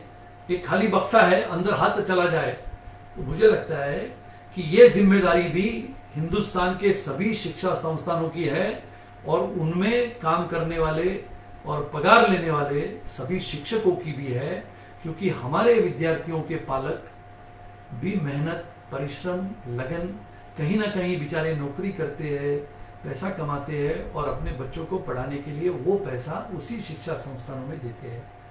वैसे ही शिक्षकों के भी जो छोटे बच्चे हैं, वो भी पढ़ने के लिए कहीं पर जाते हैं। तो ये दोनों तरफ़ है। ये तराजू का खेल है। ये तराजू का खेल अगर हमने समतोल रखा तो ये ऐसा ना होते हुए बिल्कुल बिल्कुल ऐसा होगा। और ये देखो, ये ऐसा करो तो भी नीचे जाता है। तो बिल्कुल अगर इसको करने के लिए दोनों तरफ़ के लोगों ने मेहनत करने की आवश्यकता है। और इसकी बात में अगर हम आगे चलते हैं तो पहले क्या हुआ करता था कि अगर हमें पीएचडी करनी है तो एमफिल करना पड़ता था। इसमें एमफिल को रद्द किया गया है। एमफिल को रद्द करते हुए हमें आने वाले समय में एमफिल को रद्द करते हुए पीएचडी करना बहुत आसान है। तो पीएचडी करना कैसे आसान होगा? तो ग्रेजुएशन पोस्ट ग्रेजुएशन और डायरेक्ट आप पीएचडी कर सकते हो। अभी कहीं ना कहीं ऐसा कोर्स आएगा जो डिग्री और पोस्ट ग्रेजुएशन को साथ में मिलाते हुए आएगा। यानी जहाँ पर आपके छह साल चले जाते हैं, यानी समझो आपने इंजीनियरिंग अधिक दो साल का एमबीए किया, छह साल हो गए। यानी बारहवीं अधिक चार, अधिक दो, सोलह साल हो गए। उसके बदले में आपको पंद्रह साल की शिक्षा में, यानी बारहवीं के बाद पाँच साल में आपको पोस्ट ग्रेजुएशन भी मिलेगा। उसके पश्चात आप सीधे पीएचडी करने जा सकते हो। तो पहले पीएचडी की अलग अलग बातें थी कि आपको परीक्षा में बैठना है, परीक्षा से आपको क्वालिफाई होना है, फिर सब्जेक्ट को चूज़ करना है, फिर उसको थीसिस लिखने हैं। और थीसिस लिखते हुए एक, कोई तो कह रहा है कि जितना भी समय हो जाए, आप बोलते रहो, हम सुनते रहेंगे, लेकिन मुझे लगता है एक घंटा हो गया है। और हम तो सिर्फ़ सात मुद्दे कवर कर रहे हैं। तो मुझे लगता है कि थोड़े आने वाले समय में थोड़ा सा जल्द गति से मैं करते हुए इसको पूरा करूँगा। तो ये मैंने जो ये सातवां मुद्दा कहा, ये सातवां मुद्दा जो है, ये पीएचडी करने वालों के लिए है। यानी एमफिल के बिना एमफिल तो रद्द किया जाएगा। एमफिल के बिना आपको आने वाले समय में, जैसे मैंने कहा पोस्ट ग्रेजुएशन करके सीधा आप पीएचडी के लिए जा सकते हो। और ये पीएचडी आप ऐसे करोगे तो आपको सब्जेक्ट चूज़ करना है। और मैं तो कहता हूँ कि सब्जेक्ट भी चूज़ करने के लिए जब आप पोस्ट ग्रेजुएशन करने वाले हो ना, तभी भी आप सब्जेक्ट्स को चूज़ कर सकते हो। That means you will save many many years so only when you will work और when you will work for your PhD when you will work for your post graduation or when you will work for your engineering degree for example so engineering degree post graduation and your phd subjects you can choose so what you have to work after 5 years you can work in these 5 to 6 years you will you will be one of the knowledgeable citizens of this country और आप जब इतना knowledge लेके आओगे तो आने वाले समय में सबसे मज़बूत आप किसको करोगे तो इस देश को करोगे और इस देश की शिक्षा हासिल करने के पश्चात ऐसे युवक युवती इस देश में जब तैयार होंगे तो वो वो दिन दूर नहीं वो समय दूर नहीं, वो साल दूर नहीं कि अमेरिका, रशिया, चीन, फ्रांस ऐसा जब क्रमांक आता है, जैसे स्पेस टेक्नोलॉजी में अभी क्रमांक क्या आता है तो अमेरिका, रशिया, चीन या अमेरिका, रशिया, कभी फ्रांस, ऐसा आता है। तो अमेरिका, रशिया और अभी भारत आ रहा है। विचार करो, स्पेस टेक्नोलॉजी का काम हमने शुरू किया है तो स्पेस टेक्नोलॉजी में अगर हम ये कहते हैं कि अमेरिका, रशिया, भारत है तो अगले 10 15 20 सालों के बाद सभी जगहों पे, सभी क्षेत्र में ये आपको आश्चर्य नहीं होगा। आज का दिन, आज की तारीख, आप लिख के रखो। अगर ये नेशनल पॉलिसी हमारी एजुकेशन पॉलिसी पे अगर हम अच्छा काम करें, हमारे युवक, युवतियों को और हमारे छोटे नन्हे बालकों को अच्छी शिक्षा दे 20 साल के बाद आज है हम 2020 में 2040 में। आप विचार करो, अमेरिका, रशिया, फ्रांस, भारत नहीं होगा। भारत, अमेरिका, रशिया ऐसा विश्व में होगा और भारत क्रमांक एक का विश्व में देश बनेगा अगर हमने इसको बहुत गंभीरता से लिया तो। Any country's progress is been made by the education शिक्षा के बिना देश अधूरा है। शिक्षा के बिना मानव अधूरा है और शिक्षा के बिना प्रगति अधूरी है। और इसके लिए शिक्षा, ये हम हासिल करते हैं जब नन्हे बच्चे के जन्म के पश्चात जब वो समझना सीखता है, तब हम उसको सिखाते हैं। दैट इज़ कॉल्ड एजुकेशन और व्यक्ति के मरण तक, यानी जीवन से लेके मरण तक वो शिक्षा हासिल करता है। आपने देखा होगा, बुज़ुर्ग व्यक्ति भी पढ़ते हैं। पढ़ते हैं, अखबार पढ़ते हैं मोबाइल देखते हैं, आखिर के क्षण तक अगर कोई बुज़ुर्ग व्यक्ति अस्पताल में भी है तो आपने देखा होगा, वो चिंता करता है अपने जीवन की, लेकिन कहीं ना कहीं वो पुस्तक पढ़ते रहता है। तो which is called education education by by the day of birth and the last day of your death from the birth to the death is one thing is common in everybody is education and the education can change the entire system of the country and the growth of the country is depending on the education of the citizens और इसके लिए मैं कहता हूँ the best of the educated citizens of the country the country is going to be the best and the education is going to become the worst the country is going to become the worst तो इसके लिए education से हम काम करें आठवां मुद्दा जो है आठवां मुद्दा जो है वो यूजीसी का है यूजीसी एनसीटी एआईसीटी ये ऐसे मुद्दे हैं बहुत सारे लोगों को ये मुद्दे थोड़े से ये, जो संस्थाएँ हैं जिसको हम हिंदी में नियामक संस्था कहते हैं या फिर ये जो ऑर्गनायझेशन आहे ये कंट्रोल्ड ऑथॉरिटी आहे म्हणजे ह्या संस्था ज्या आहेत ह्या संस्था देशभरातल्या सगळ्या शिक्षण संस्थांवर एक नियंत्रण ठेवतात. या नियंत्रणाच्या माध्यमातून या सगळ्या संस्थांना दर्जा देणं स्वायत्तता देणं ऑटोनॉमी देना, या फिर इनको अलग अलग जगहों पे इनके मानांकन, यानी इनकी ग्रेडेशन की तैयारियाँ करके लेना। जैसे एक बाजू में नैक है, एक बाजू में नेशनल बोर्ड ऑफ़ एजुकेशन है, एक बाजू में नेशनल बोर्ड ऑफ़ एक्रीडिएशन है। तो ये ऐसे अलग अलग बोर्ड जो बने हैं, इसके सबके दायरे में क्या आता है? तो पहला आता है यूजीसी दूसरा आता है एनसीटी तीसरा आता है एआईसीटी अब एआईसीटी जो है all India council for technical education या फिर national council for technical education ये सब जो है, अभी ये रद्द किए जाएँगे। और ये रद्द करके ये सब आने वाले समय में ग्रेडेड ऑटोनॉमी के तहत चले जाएँगे। और ग्रेडेड ऑटोनॉमी यानी क्या होगी? तो ये सब संस्थाएँ जब अभी एचआरडी के अंडर आती है ह्यूमन रिसोर्सेज डिपार्टमेंट या human resources development H R D D तो ये जो आता है तो इसके माध्यम से ये सबको रद्द करते हुए आने वाले समय में एक ही डिपार्टमेंट बनेगा। जैसे मैंने कहा कि एक ही मिनिस्ट्री बनेगी, जिसको हम कहेंगे कि education ministry of the country नौवे मुद्दे में ये कहते हैं कि अभी हम एडमिशन के लिए जाते हैं तो एडमिशन के लिए अलग अलग संस्था के माध्यम से परीक्षाएँ ली जाती है। और परीक्षाएँ ली जाती है, तब ये जनरल नॉलेज की परीक्षा होती है। और कोई कोई संस्था परीक्षा भी नहीं लेती है एडमिशन दे देती है। तो अभी क्या होगा? तो आने वाले समय में ये नई शिक्षा पॉलिसी के तहत अगर आपको हायर एजुकेशन में प्रवेश लेना है, दाखिला लेना है तो higher educational colleges entry exams will be govern by the राष्ट्रीय परीक्षा agency by home so national examination agency तो नेशनल एन ई ए जिसके तहत ये परीक्षा ली जाएगी।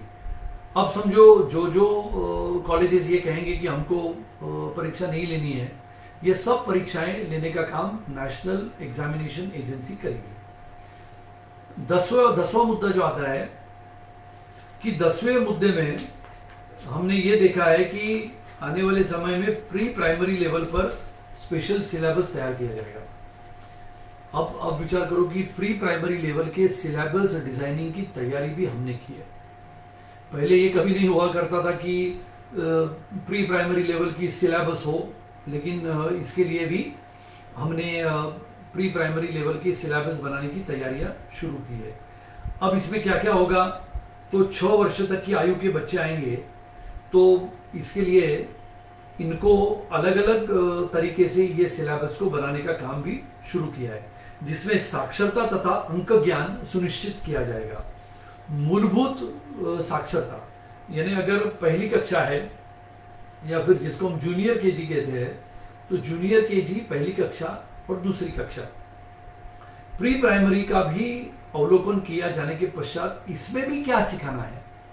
इसकी भी तैयारियाँ प्री प्राइमरी लेवल के सिलेबस में आने वाली है। और ये आ, कितने विषय होंगे तो इस विषय को भी निर्धारित किया जाएगा कि ये विषय करीबन छह से आठ होने चाहिए। और छह से आठ विषय में अगर हम काम करें तो ये छोटे जो नन्हे बालक है इनके ऊपर ज़्यादा बोझ न आते हुए कम से कम विषयों में ज़्यादा से ज़्यादा जानकारी ज़्यादा से ज़्यादा शिक्षा ये प्राप्त कर सकते हैं। और ये प्राप्त करने के लिए ये विशेष एक पाठ्यक्रम तैयार किया जाएगा जिसमें तकनीक यानी टेक्नोलॉजी का वापर किया जाएगा। अभी देखा बीच में हाईकोर्ट ने भी एक नतीजा दिया था। हाईकोर्ट ने भी एक डायरेक्शन दिए थे कि पहले दो प्रकार के लोग थे, दो प्रकार के पेरेंट्स थे, जो कहते थे कि नन्हे बालकों को आप कंप्यूटर के सामने मत बिठाओ। दूसरा बालक वर्ग ऐसा था कि वो तो मोबाइल भी देखता है तो आधा एक घंटा कंप्यूटर के सामने बैठा तो क्या होगा? तो मुझे यह लगता है कि हाईकोर्ट के निर्णय के पश्चात, माननीय हाईकोर्ट ने निर्णय देने के पश्चात, करीबन आधा एक घंटा वो नन्ना बालक कंप्यूटर के सामने बैठ के तकनीकी के माध्यम से शिक्षा हासिल कर रहा है। और शिक्षा हासिल कर रहा है, जैसे मैंने एक देश का उदाहरण आपके सामने रखा था, उसी देश के उदाहरण के तहत जब ये अपने भी बालक ये तकनीकी के माध्यम से आगे बढ़ेंगे, तकनीकी शिक्षा हासिल करके जब प्री प्राइमरी को पूरा करके आगे चलेंगे। स्पेशल सिलेबस के तहत आगे चलेंगे, तीसरी कक्षा में आएँगे, चौथी में आएँगे। तो मुझे लगता है कि आने वाले समय में ये तकनीकी माध्यम से आने वाली हमारी नई पीढ़ी बहुत ही शानदार तरीके से इस देश का भविष्य बदलने का काम करेगी। ग्यारहवें मुद्दे में हम कहते हैं कि स्कूल कॉलेजों की फ़ीस पर नियंत्रण के लिए तंत्र बनेगा। निश्चित रूप से तंत्र बनना भी चाहिए, जिसके पास अच्छी सुविधा, अच्छी तकनीकी उपकरण और शिक्षा के नए दालन, अच्छे शिक्षक और कैंपस की व्यवस्था, उसके ऊपर से ये निश्चित रूप से फ़ी भी फ़ी के ऊपर भी एक नियंत्रण आने की आवश्यकता है। जहाँ पर छोटी स्कूल है, उपकरण नहीं है व्यवस्थाएँ नहीं है, तकनीकी नहीं है, तकनीकी उपकरण नहीं है टेक्नोलॉजी बेस्ड एजुकेशन नहीं है, ऐसे समय में उनकी फ़ी ये उस दर्जा के हिसाब से होनी चाहिए। जैसे मैंने देखा कि स्कूल की फ़ी मैं तो कभी कभी आश्चर्यचकित होता हूँ कि बोरिवली विभाग में, खास तौर से बोरिवली कंदिवली विभाग में, स्कूल की फ़ी ये इंजीनियरिंग कॉलेज से भी ऊपर है। यानी कौन सी स्कूल? तो पहली कक्षा। पहली कक्षा की फ़ी एक लाख नब्बे हज़ार, दो लाख दस हज़ार, तीन लाख पच्चीस हज़ार और सरासरी बोरीवली कांदिवली मलाड ये उत्तर मुंबई में नहीं, बल्कि पूरे उपनगर में बसे हुए इंजीनियरिंग कॉलेजेस की फ़ी एक लाख बीस, एक लाख चालीस, एक लाख पचास। इसके ऊपर नहीं है। हालाँकि तकनीकी उपकरण यहाँ पर इतने भारी मात्रा में लगाने पड़ते हैं तो छोटे कक्षों में, यानी छोटे विद्यार्थी जिस स्कूल में जाते हैं, उनकी पढ़ाई के ऊपर अगर हम ध्यान देंगे तो ये फ़ीस का नियंत्रण करना ही पड़ेगा। मुझे समझ में नहीं, आता है कि मॉन्टेसरी में और पहली कक्षा में जाने वाले बच्चे की फ़ी दो लाख। और जीवन के आखिरी शिक्षा लेने वाले विद्यार्थी को इंजीनियरिंग में जाने के बाद इंजीनियरिंग की फ़ी डेढ़ लाख दो लाख। यानी जिसकी उम्र पाँच साल पाँच साल है देखो अभी। यानी मैं इसमें कोई टिप्पणियाँ नहीं कर रहा हूँ लेकिन मैं वास्तविकता का दर्शन आप सबको करा रहा हूँ। पहली कक्षा में पढ़ने वाले विद्यार्थी की उम्र सरासरी पाँच से छह साल। इंजीनियरिंग के आखिरी वर्ष में पढ़ने वाले विद्यार्थी की सरासरी उम्र बीस साल, बीस से इक्कीस साल या बाईस साल पकड़ लो। उसकी फ़ी एक लाख पचास हज़ार, एक लाख साठ हज़ार, उदाहरण तौर पे एक लाख अस्सी हज़ार, ऐसा पकड़ के चलो। यानी पाँच वर्ष की उम्र में पहले साल की शिक्षा लेने वाला, यानी पहली कक्षा में पढ़ने वाला बच्चा इस महाराष्ट्र में, इस मुंबई के, उत्तर मुंबई के एक उदाहरण तौर पे दे रहा हूँ, उसकी फ़ी है दो लाख। अब वो विचार करो, दो लाख की शिक्षा हासिल करने वाला छोटा सा नन्ना बालक क्या करता होगा? और 22 साल में, और 21 साल में शिक्षा के सबसे ऊँचे दालन में, जहाँ पर जाके अपना भविष्य बनाने वाला है, उस उस बालक को शिक्षा देने का प्रावधान में भी फ़ी कम से कम दो लाख। यानी विचार करो, ये जो ये जो इनडिस्क्रिमिनेशन है, ये इनडिस्क्रिमिनेशन को अपने को बदलना होगा और ये इनडिस्क्रिमिनेशन को बदलने का काम ये सरकार निश्चित रूप से करेगी, इसके लिए फ़ीस पर नियंत्रण लाने की आवश्यकता है। और इसके लिए तंत्र भी बनाया जाएगा। बारहवीं, बारहवा मुद्दा जो है और इसमें ग्यारहवें मुद्दे में एक बात ऐसी है कि केंद्रीय विद्यापीठ, राज्य विद्यापीठ, डीम विद्यापीठ और ऑटोनॉमी जितने विद्यापीठों को दी गई है, वो सब एक ही दौर में आएँगे, एक ही तरीके से इनके ऊपर नियंत्रण में लाए जाएँगे। बारहवा मुद्दा जो है नेशनल रिसर्च फाउंडेशन देखो, मैंने कहा कि जिस देश की प्रगति, जिस देश की उन्नति रिसर्च के माध्यम से हो फाउंडेशन के माध्यम से हो फाउंडेशन इन्हें खोज देखो, कोरोना ने पूरे विश्व के सबको हिला के रखा है। सभी वैज्ञानिकों को, सभी शास्त्रज्ञों को, सभी रिसर्च फाउंडेशन को, सभी रिसर्च डेवलपमेंट करने वाले लोगों को हिला के रखा है।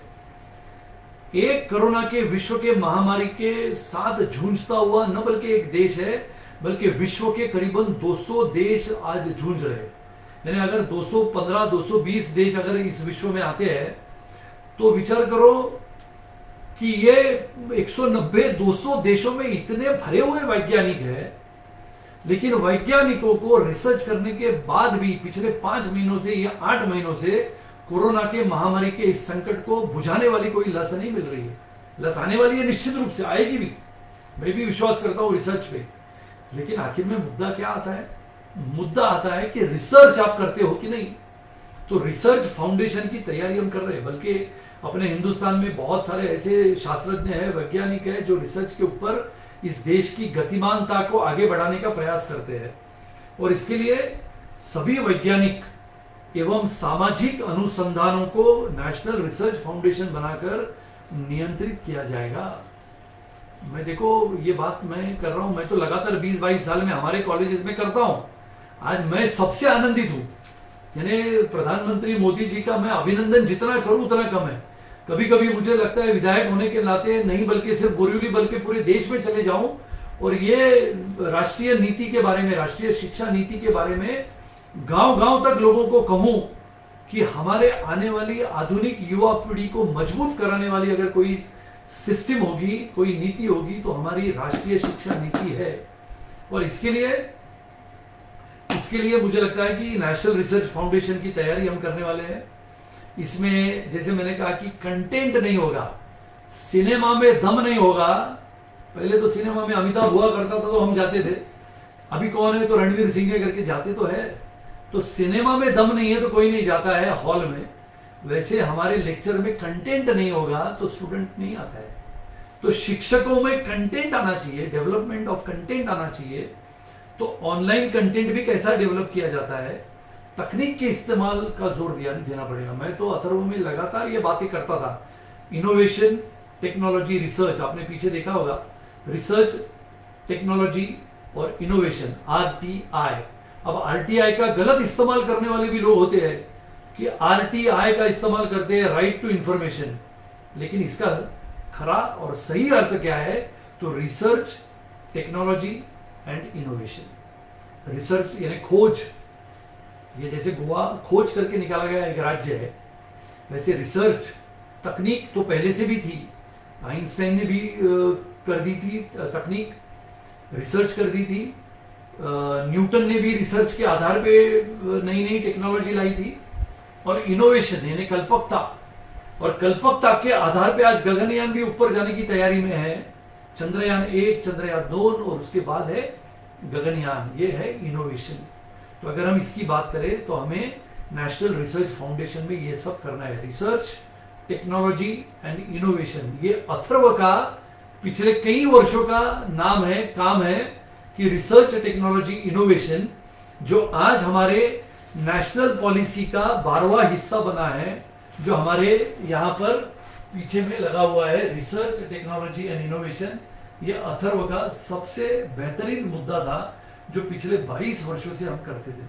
और इसके लिए मुझे लगता है कि ये बारवा मुद्दा नेशनल रिसर्च फाउंडेशन का था। तेरवा मुद्दा है स्कूली शिक्षा के साथ उच्च शिक्षा उच्च शिक्षा के साथ कृषि शिक्षा, कानूनी शिक्षा, चिकित्सा शिक्षा और तकनीकी शिक्षा जैसी व्यावसायिक शिक्षा भी नई शिक्षा के नीति के दायरे में आए। इसका मतलब क्या है? तो इसका मतलब है कि पहले क्या हुआ करता था कि कृषि का शिक्षा, चला एग्रीकल्चरल एजुकेशन इन्होंने लिया।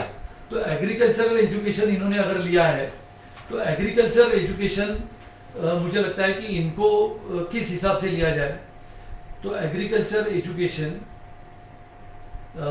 जिसको हम कहते हैं कि लीगल एजुकेशन अभी लीगल एजुकेशन में भी इतने लोग ज़बरदस्त बढ़ते हैं लीगल एजुकेशन में भी corporate legal systems criminal legal system multinational legal system और ये सब हिस्सों में अगर हम काम करते हैं तो मुझे लगता है कि आने वाले समय में हिंदुस्तान की ये बागडोर बहुत मज़बूत तरीके से अपने हाथों में आ सकती है। चौदह नंबर का मुद्दा है, कला, संगीत, हस्तकला क्रीड़ा योग समुदाय, इन सबों, इन सभी को आने वाले समय में हमने मेन सिलेबस में अंतर्भाव करना है। और मेन सिलेबस में अंतर्भाव क्यों करना है? तो पहले हम कहते थे कि मेन सिलेबस जो है मेन सिलेबस और ये सिलेबस अलग अलग किया जाता था। अभी ये मेन सिलेबस में आएगा और मेन सिलेबस में आएगा तो कला, संगीत, शिल्प, खेल, योग, सामुदायिक सेवा, जिसको हम कहते कि सोशल सर्विस अभी सोशल सर्विस के बारे में हम लगातार कहते थे corporate social responsibility C S R और सी एस आर का एक अगर हम सब्जेक्ट तैयार करें तो मुझे लगता है कि ये सब्जेक्ट के तहत हम आने वाले समय में युवा पीढ़ी को एक सोशल रिस्पॉन्सिबिलिटी यानी बेहतर नागरिक कैसे बनना, बेहतर नागरिक बनने की सोच अपने मन में कैसे लाना, इसकी तैयारी हम पहले से करें तो मुझे लगता है कि हमारी आधुनिक पीढ़ी, हमारी युवा पीढ़ी को हम ये सिखाने की आवश्यकता है कि पब्लिक बिहेवियर कैसे होता है। जब हम लोगों में चले जाते हैं तो हमने बर्ताव कैसे करना चाहिए? कतार में खड़े रहते हैं तो कैसे रहना चाहिए? अगर हमारे पास कोई बुज़ुर्ग व्यक्ति आता है तो उसे आगे कैसे भेजना चाहिए? अगर कतार में सैनिक पीछे खड़ा है तो उस सैनिक को सम्मान पूर्वक आगे कैसे लेके जाना चाहिए? अगर हमने बस में बैठना है तो कैसे बैठना चाहिए? हम देखते हैं कि कभी कभी हम ट्रेन से सफ़र करते हैं तो लोग मोबाइल में इतने ज़ोर ज़ोर से बोलते हैं, जैसे कि ये रेडियो पे बात कर रहा है। और ये कहते हैं कि पब्लिक बिहेवियर कैसा होना चाहिए? और इसके लिए आज की जो पीढ़ी है और आज के जो हिंदुस्तानी नागरिक है, उनको सबको भी ये सीखना आवश्यक है कि हम बाहर चल के कैसे बर्ताव करते हैं। हम नागरिक होने के नाते जिम्मेदार है कि नहीं है तो ये भी अभ्यासक्रम में आने की आवश्यकता है। मैं दाद देता हूँ हमारे सभी अधिकारियों की, जिन्होंने इस नेशनल पॉलिसी में नेशनल एजुकेशन की पॉलिसी में ये भी अभ्यासक्रम को अंतर्भाव किया है। देखो छोटे छो, अभी समय बहुत कम है नहीं तो मैं कभी आपसे आपसे जब चर्चा करूँगा तो विदेश में छोटे छोटे बच्चों को पब्लिक बिहेवियर कैसे सिखाया जाता है इसके भी उदाहरण आपको दूँगा। और हमारे भी लोगों के उदाहरण दूँगा। एक छोटा उदाहरण है एक बस में 40 बच्चे चले थे और 40 बच्चों को कैडबरी के चॉकलेट दिए गए। और कैडबरी के चॉकलेट देने के पश्चात बच्चों ने कैडबरी खाए और क्या किया तो वो जो सेलोफेन कैडबरी खाने के पश्चात वो जो चॉकलेट के कागज़ थे, उनको डस्टबिन कहीं पर दिखा नहीं तो उन्होंने अपने खिसे में रखे। और जब उतरे बस में से तो आगरा से ड्राइवर को पूछा कि hello sir where is the dustbin और जाके डस्टबिन में वो सब कागज़, सब बच्चों ने निकाल के डाले। विचार करो, अपने देश में नागरिक क्या करता है? नारियल कभी कभी देखो आप, नारियल पानी पीता है। आप रास्ते पे खड़े रह के देखो कभी। और नारियल पानी पीता है और बिल्कुल फेंक देता है, जैसा अपना देश, अपने देश अपना ही है, फेंक देता है। और यही नागरिक सिंगापुर में चला जाता है, नारियल का पानी पीता है, देखता है इधर उधर, चुपचाप वो नारियल वाले को पूछता है, कहाँ पर रखू? उसको मालूम है, नारियल अगर रास्ते पे डाला तो एक दिन की कैद होती है।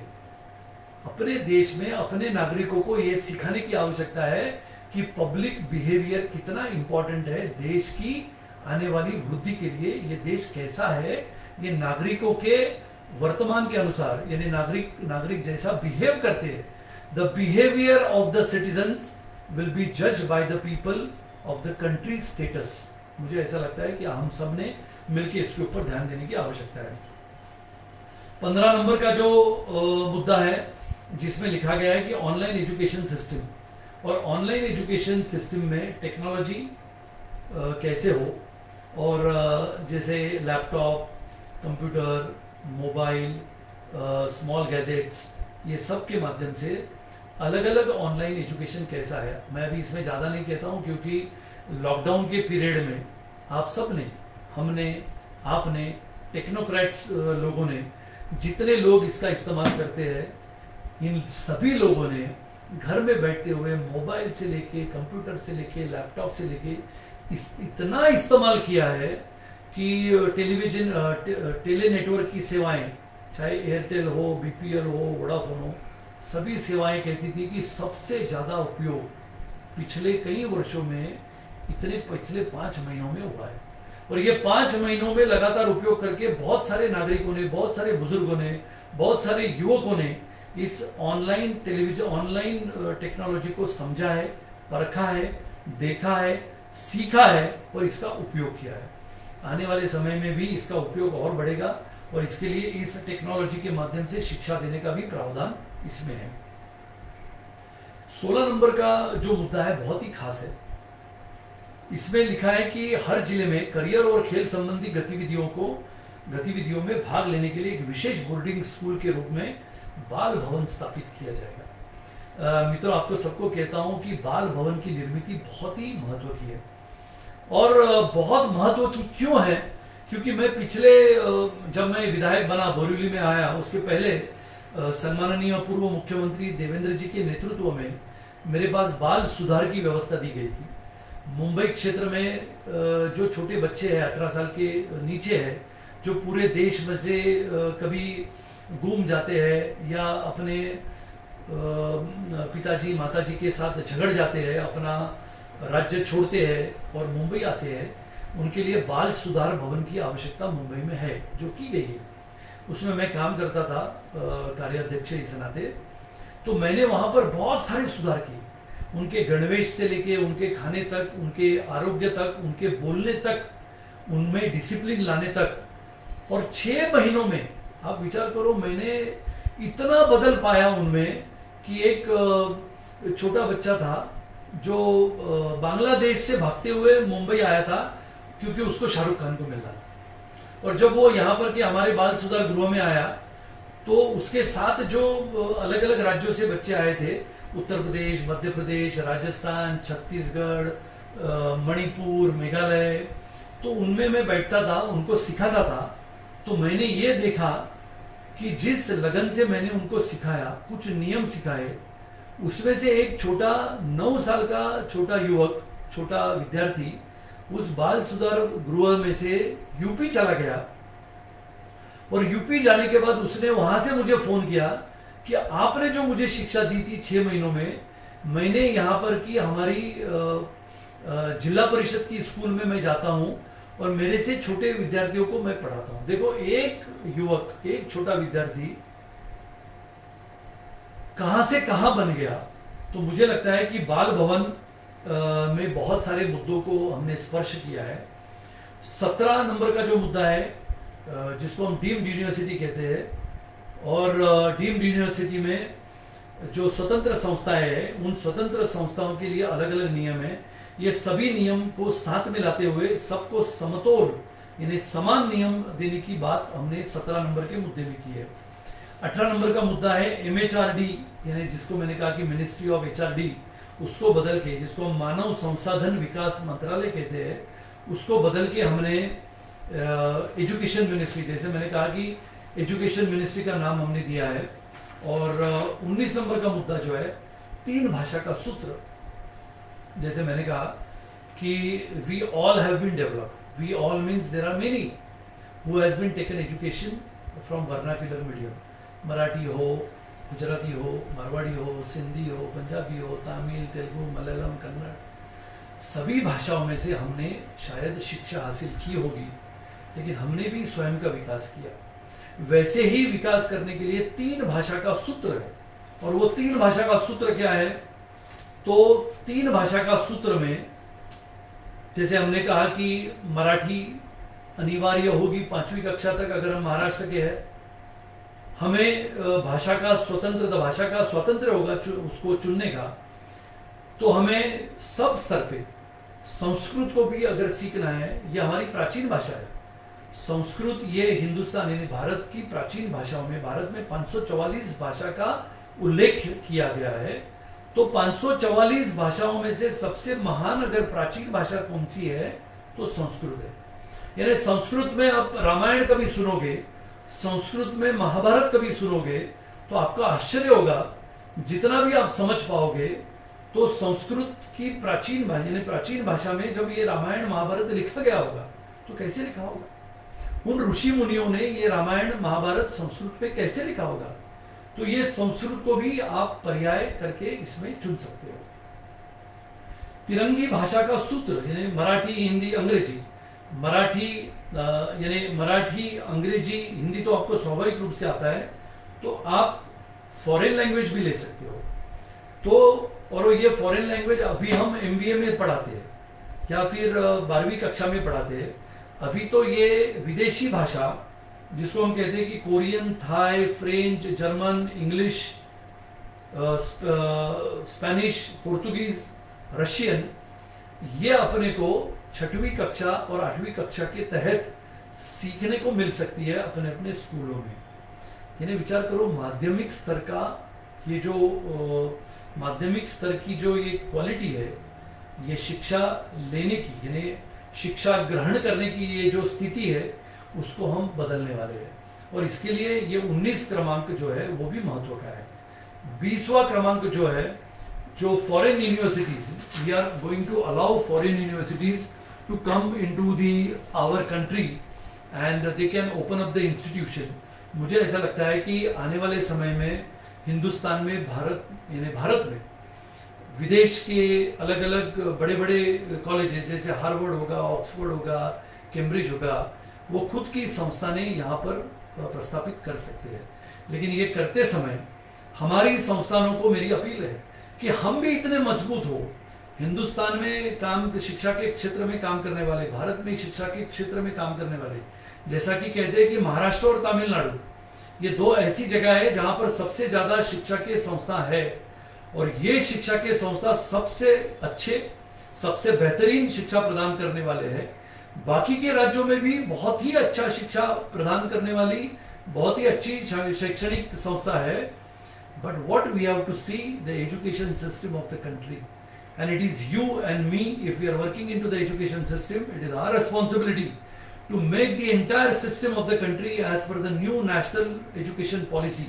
How we say national economic policy, in the same manner, national education policy should be one of the best in our country. We feel we are a patriotic Indian.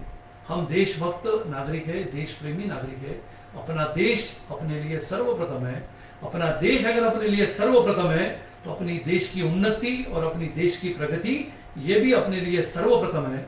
और अगर हम हमारे शिक्षा के संस्था के माध्यम से काम करते हैं, शिक्षा के क्षेत्र में काम करते हैं तो मुझे लगता है आप कोई भी राजनीतिक दल से आते हो, आप इस हिंदुस्तान के देशभक्त नागरिक हो तो मैं, मेरी आपसे दरखास्त है, मेरी आपसे विनती है कि आने वाले समय में दो दशकों में ऐसा हिंदुस्तान खड़ा करे, शिक्षा के माध्यम से, शिक्षा के दालन के माध्यम से हिंदुस्तान को एक नई ऊंचाई पे लेके जाने का काम करे, ऐसा हम एक शपथ ग्रहण करें कि हमारे छोटे बालकों से लेके हमारे युवकों तक ऐसी शिक्षा देने का हम प्रावधान करें।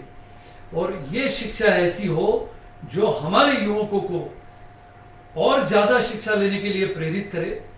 The education system should be so good that five lakh Indian students goes abroad they spends money there and they make their economy very strong while spending money into their country i feel yes they should go it's not a question that they should not go लेकिन मुझे ऐसा लगता है कि our education system should be so strong that our educational system should have that much belief by the students that yes if i'm going to take education in our country मेरी शिक्षा इतनी अच्छी होगी जो विदेश में अगर मैं चला जाऊँ तो विदेश की शिक्षा हासिल करने वाला युवक और युवती मेरे समान दर्जा में आए और इसके लिए सबसे महत्व होगा शिक्षा प्रदान करने वाली, शिक्षा देने वाली एजुकेशन सिस्टम्स को और हमारी एजुकेशन संस्था को मज़बूत करना पड़ेगा और इसके सबसे कड़ी होगी तो एजुकेशन सिस्टम को और एजुकेशन संस्था को मज़बूत करने वाली सबसे कड़ी होगी शिक्षक। शिक्षकों से भी मैं अपील करता हूँ कि ये शिक्षा का जो विभाग है, उसको बहुत गहरे तरीके से आपने लेना चाहिए। न बल्कि छठवा वेतन आयोग, सातवां वेतन आयोग, आठवां वेतन आयोग, दसवां वेतन आयोग, ये जब आएगा तब आएगा।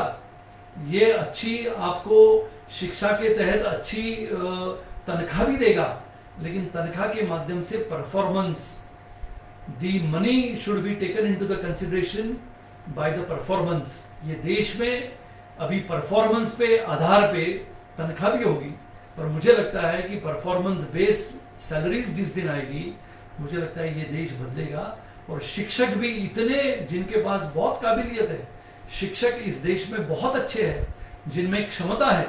और शिक्षा के आधार पे अगर वो शिक्षा अच्छी प्रदान करे तो मैं आपको गारंटी देता हूँ, मैं आपको विश्वास दिलाता हूँ कि आने वाले समय में शिक्षकों के माध्यम से और शिक्षा संस्थानों के माध्यम से केंद्र सरकार में बसे हुए हमारे आदरणीय प्रधानमंत्री श्री नरेंद्र मोदी जी के सपनों का भारत निश्चित रूप से आत्मनिर्भर भारत हम बनाएँगे। और अच्छी शिक्षा देते हुए इस राष्ट्रीय शिक्षा नीति के तहत हिंदुस्तान के युवक पीढ़ी को एक नया हिंदुस्तान, नया भारत बनाने का हम आज प्रण लेते हैं और कसम खाते हैं कि इस राष्ट्रीय शिक्षा नीति के तहत एक नए हिंदुस्तान की निर्मित के लिए इस नई दिशा में हम सब प्रवास करें। आने वाले समय में एक नए हिंदुस्तान की निर्मित के लिए हमारे आदरणीय प्रधानमंत्री जी के हाथों में मज़बूत शक्ति दे। ऐसा आप सबको संबोधित करते हुए मुझे बहुत समय से आप लोगों ने सुना। इसके लिए मी, तुम्हारा सगळ्यांना मनपूर्वक धन्यवाद देतो और I feel in coming time we should make our country proud we should feel our country is in our heart the tricolour the tiranga जिसको हम कहते हैं, वो हमारे दिल में लहराना चाहिए, फहराना चाहिए और आने वाले पंद्रह अगस्त को हम ये कसम खाए कि हाँ ये देश मेरा भी है। हाँ इस देश का मैं नागरिक हूँ। और आने वाले समय में इस हिंदुस्तान को शक्तिशाली बनाने के लिए शिक्षा के माध्यम से मैं भी प्रयास करूँगा। और आदरणीय प्रधानमंत्री जी का अभिनंदन करते हुए आज का हमारा ये फेसबुक लाइव हम समाप्त करते हैं। धन्यवाद। जय हिंद। जय महाराष्ट्र। भारत माता की जय।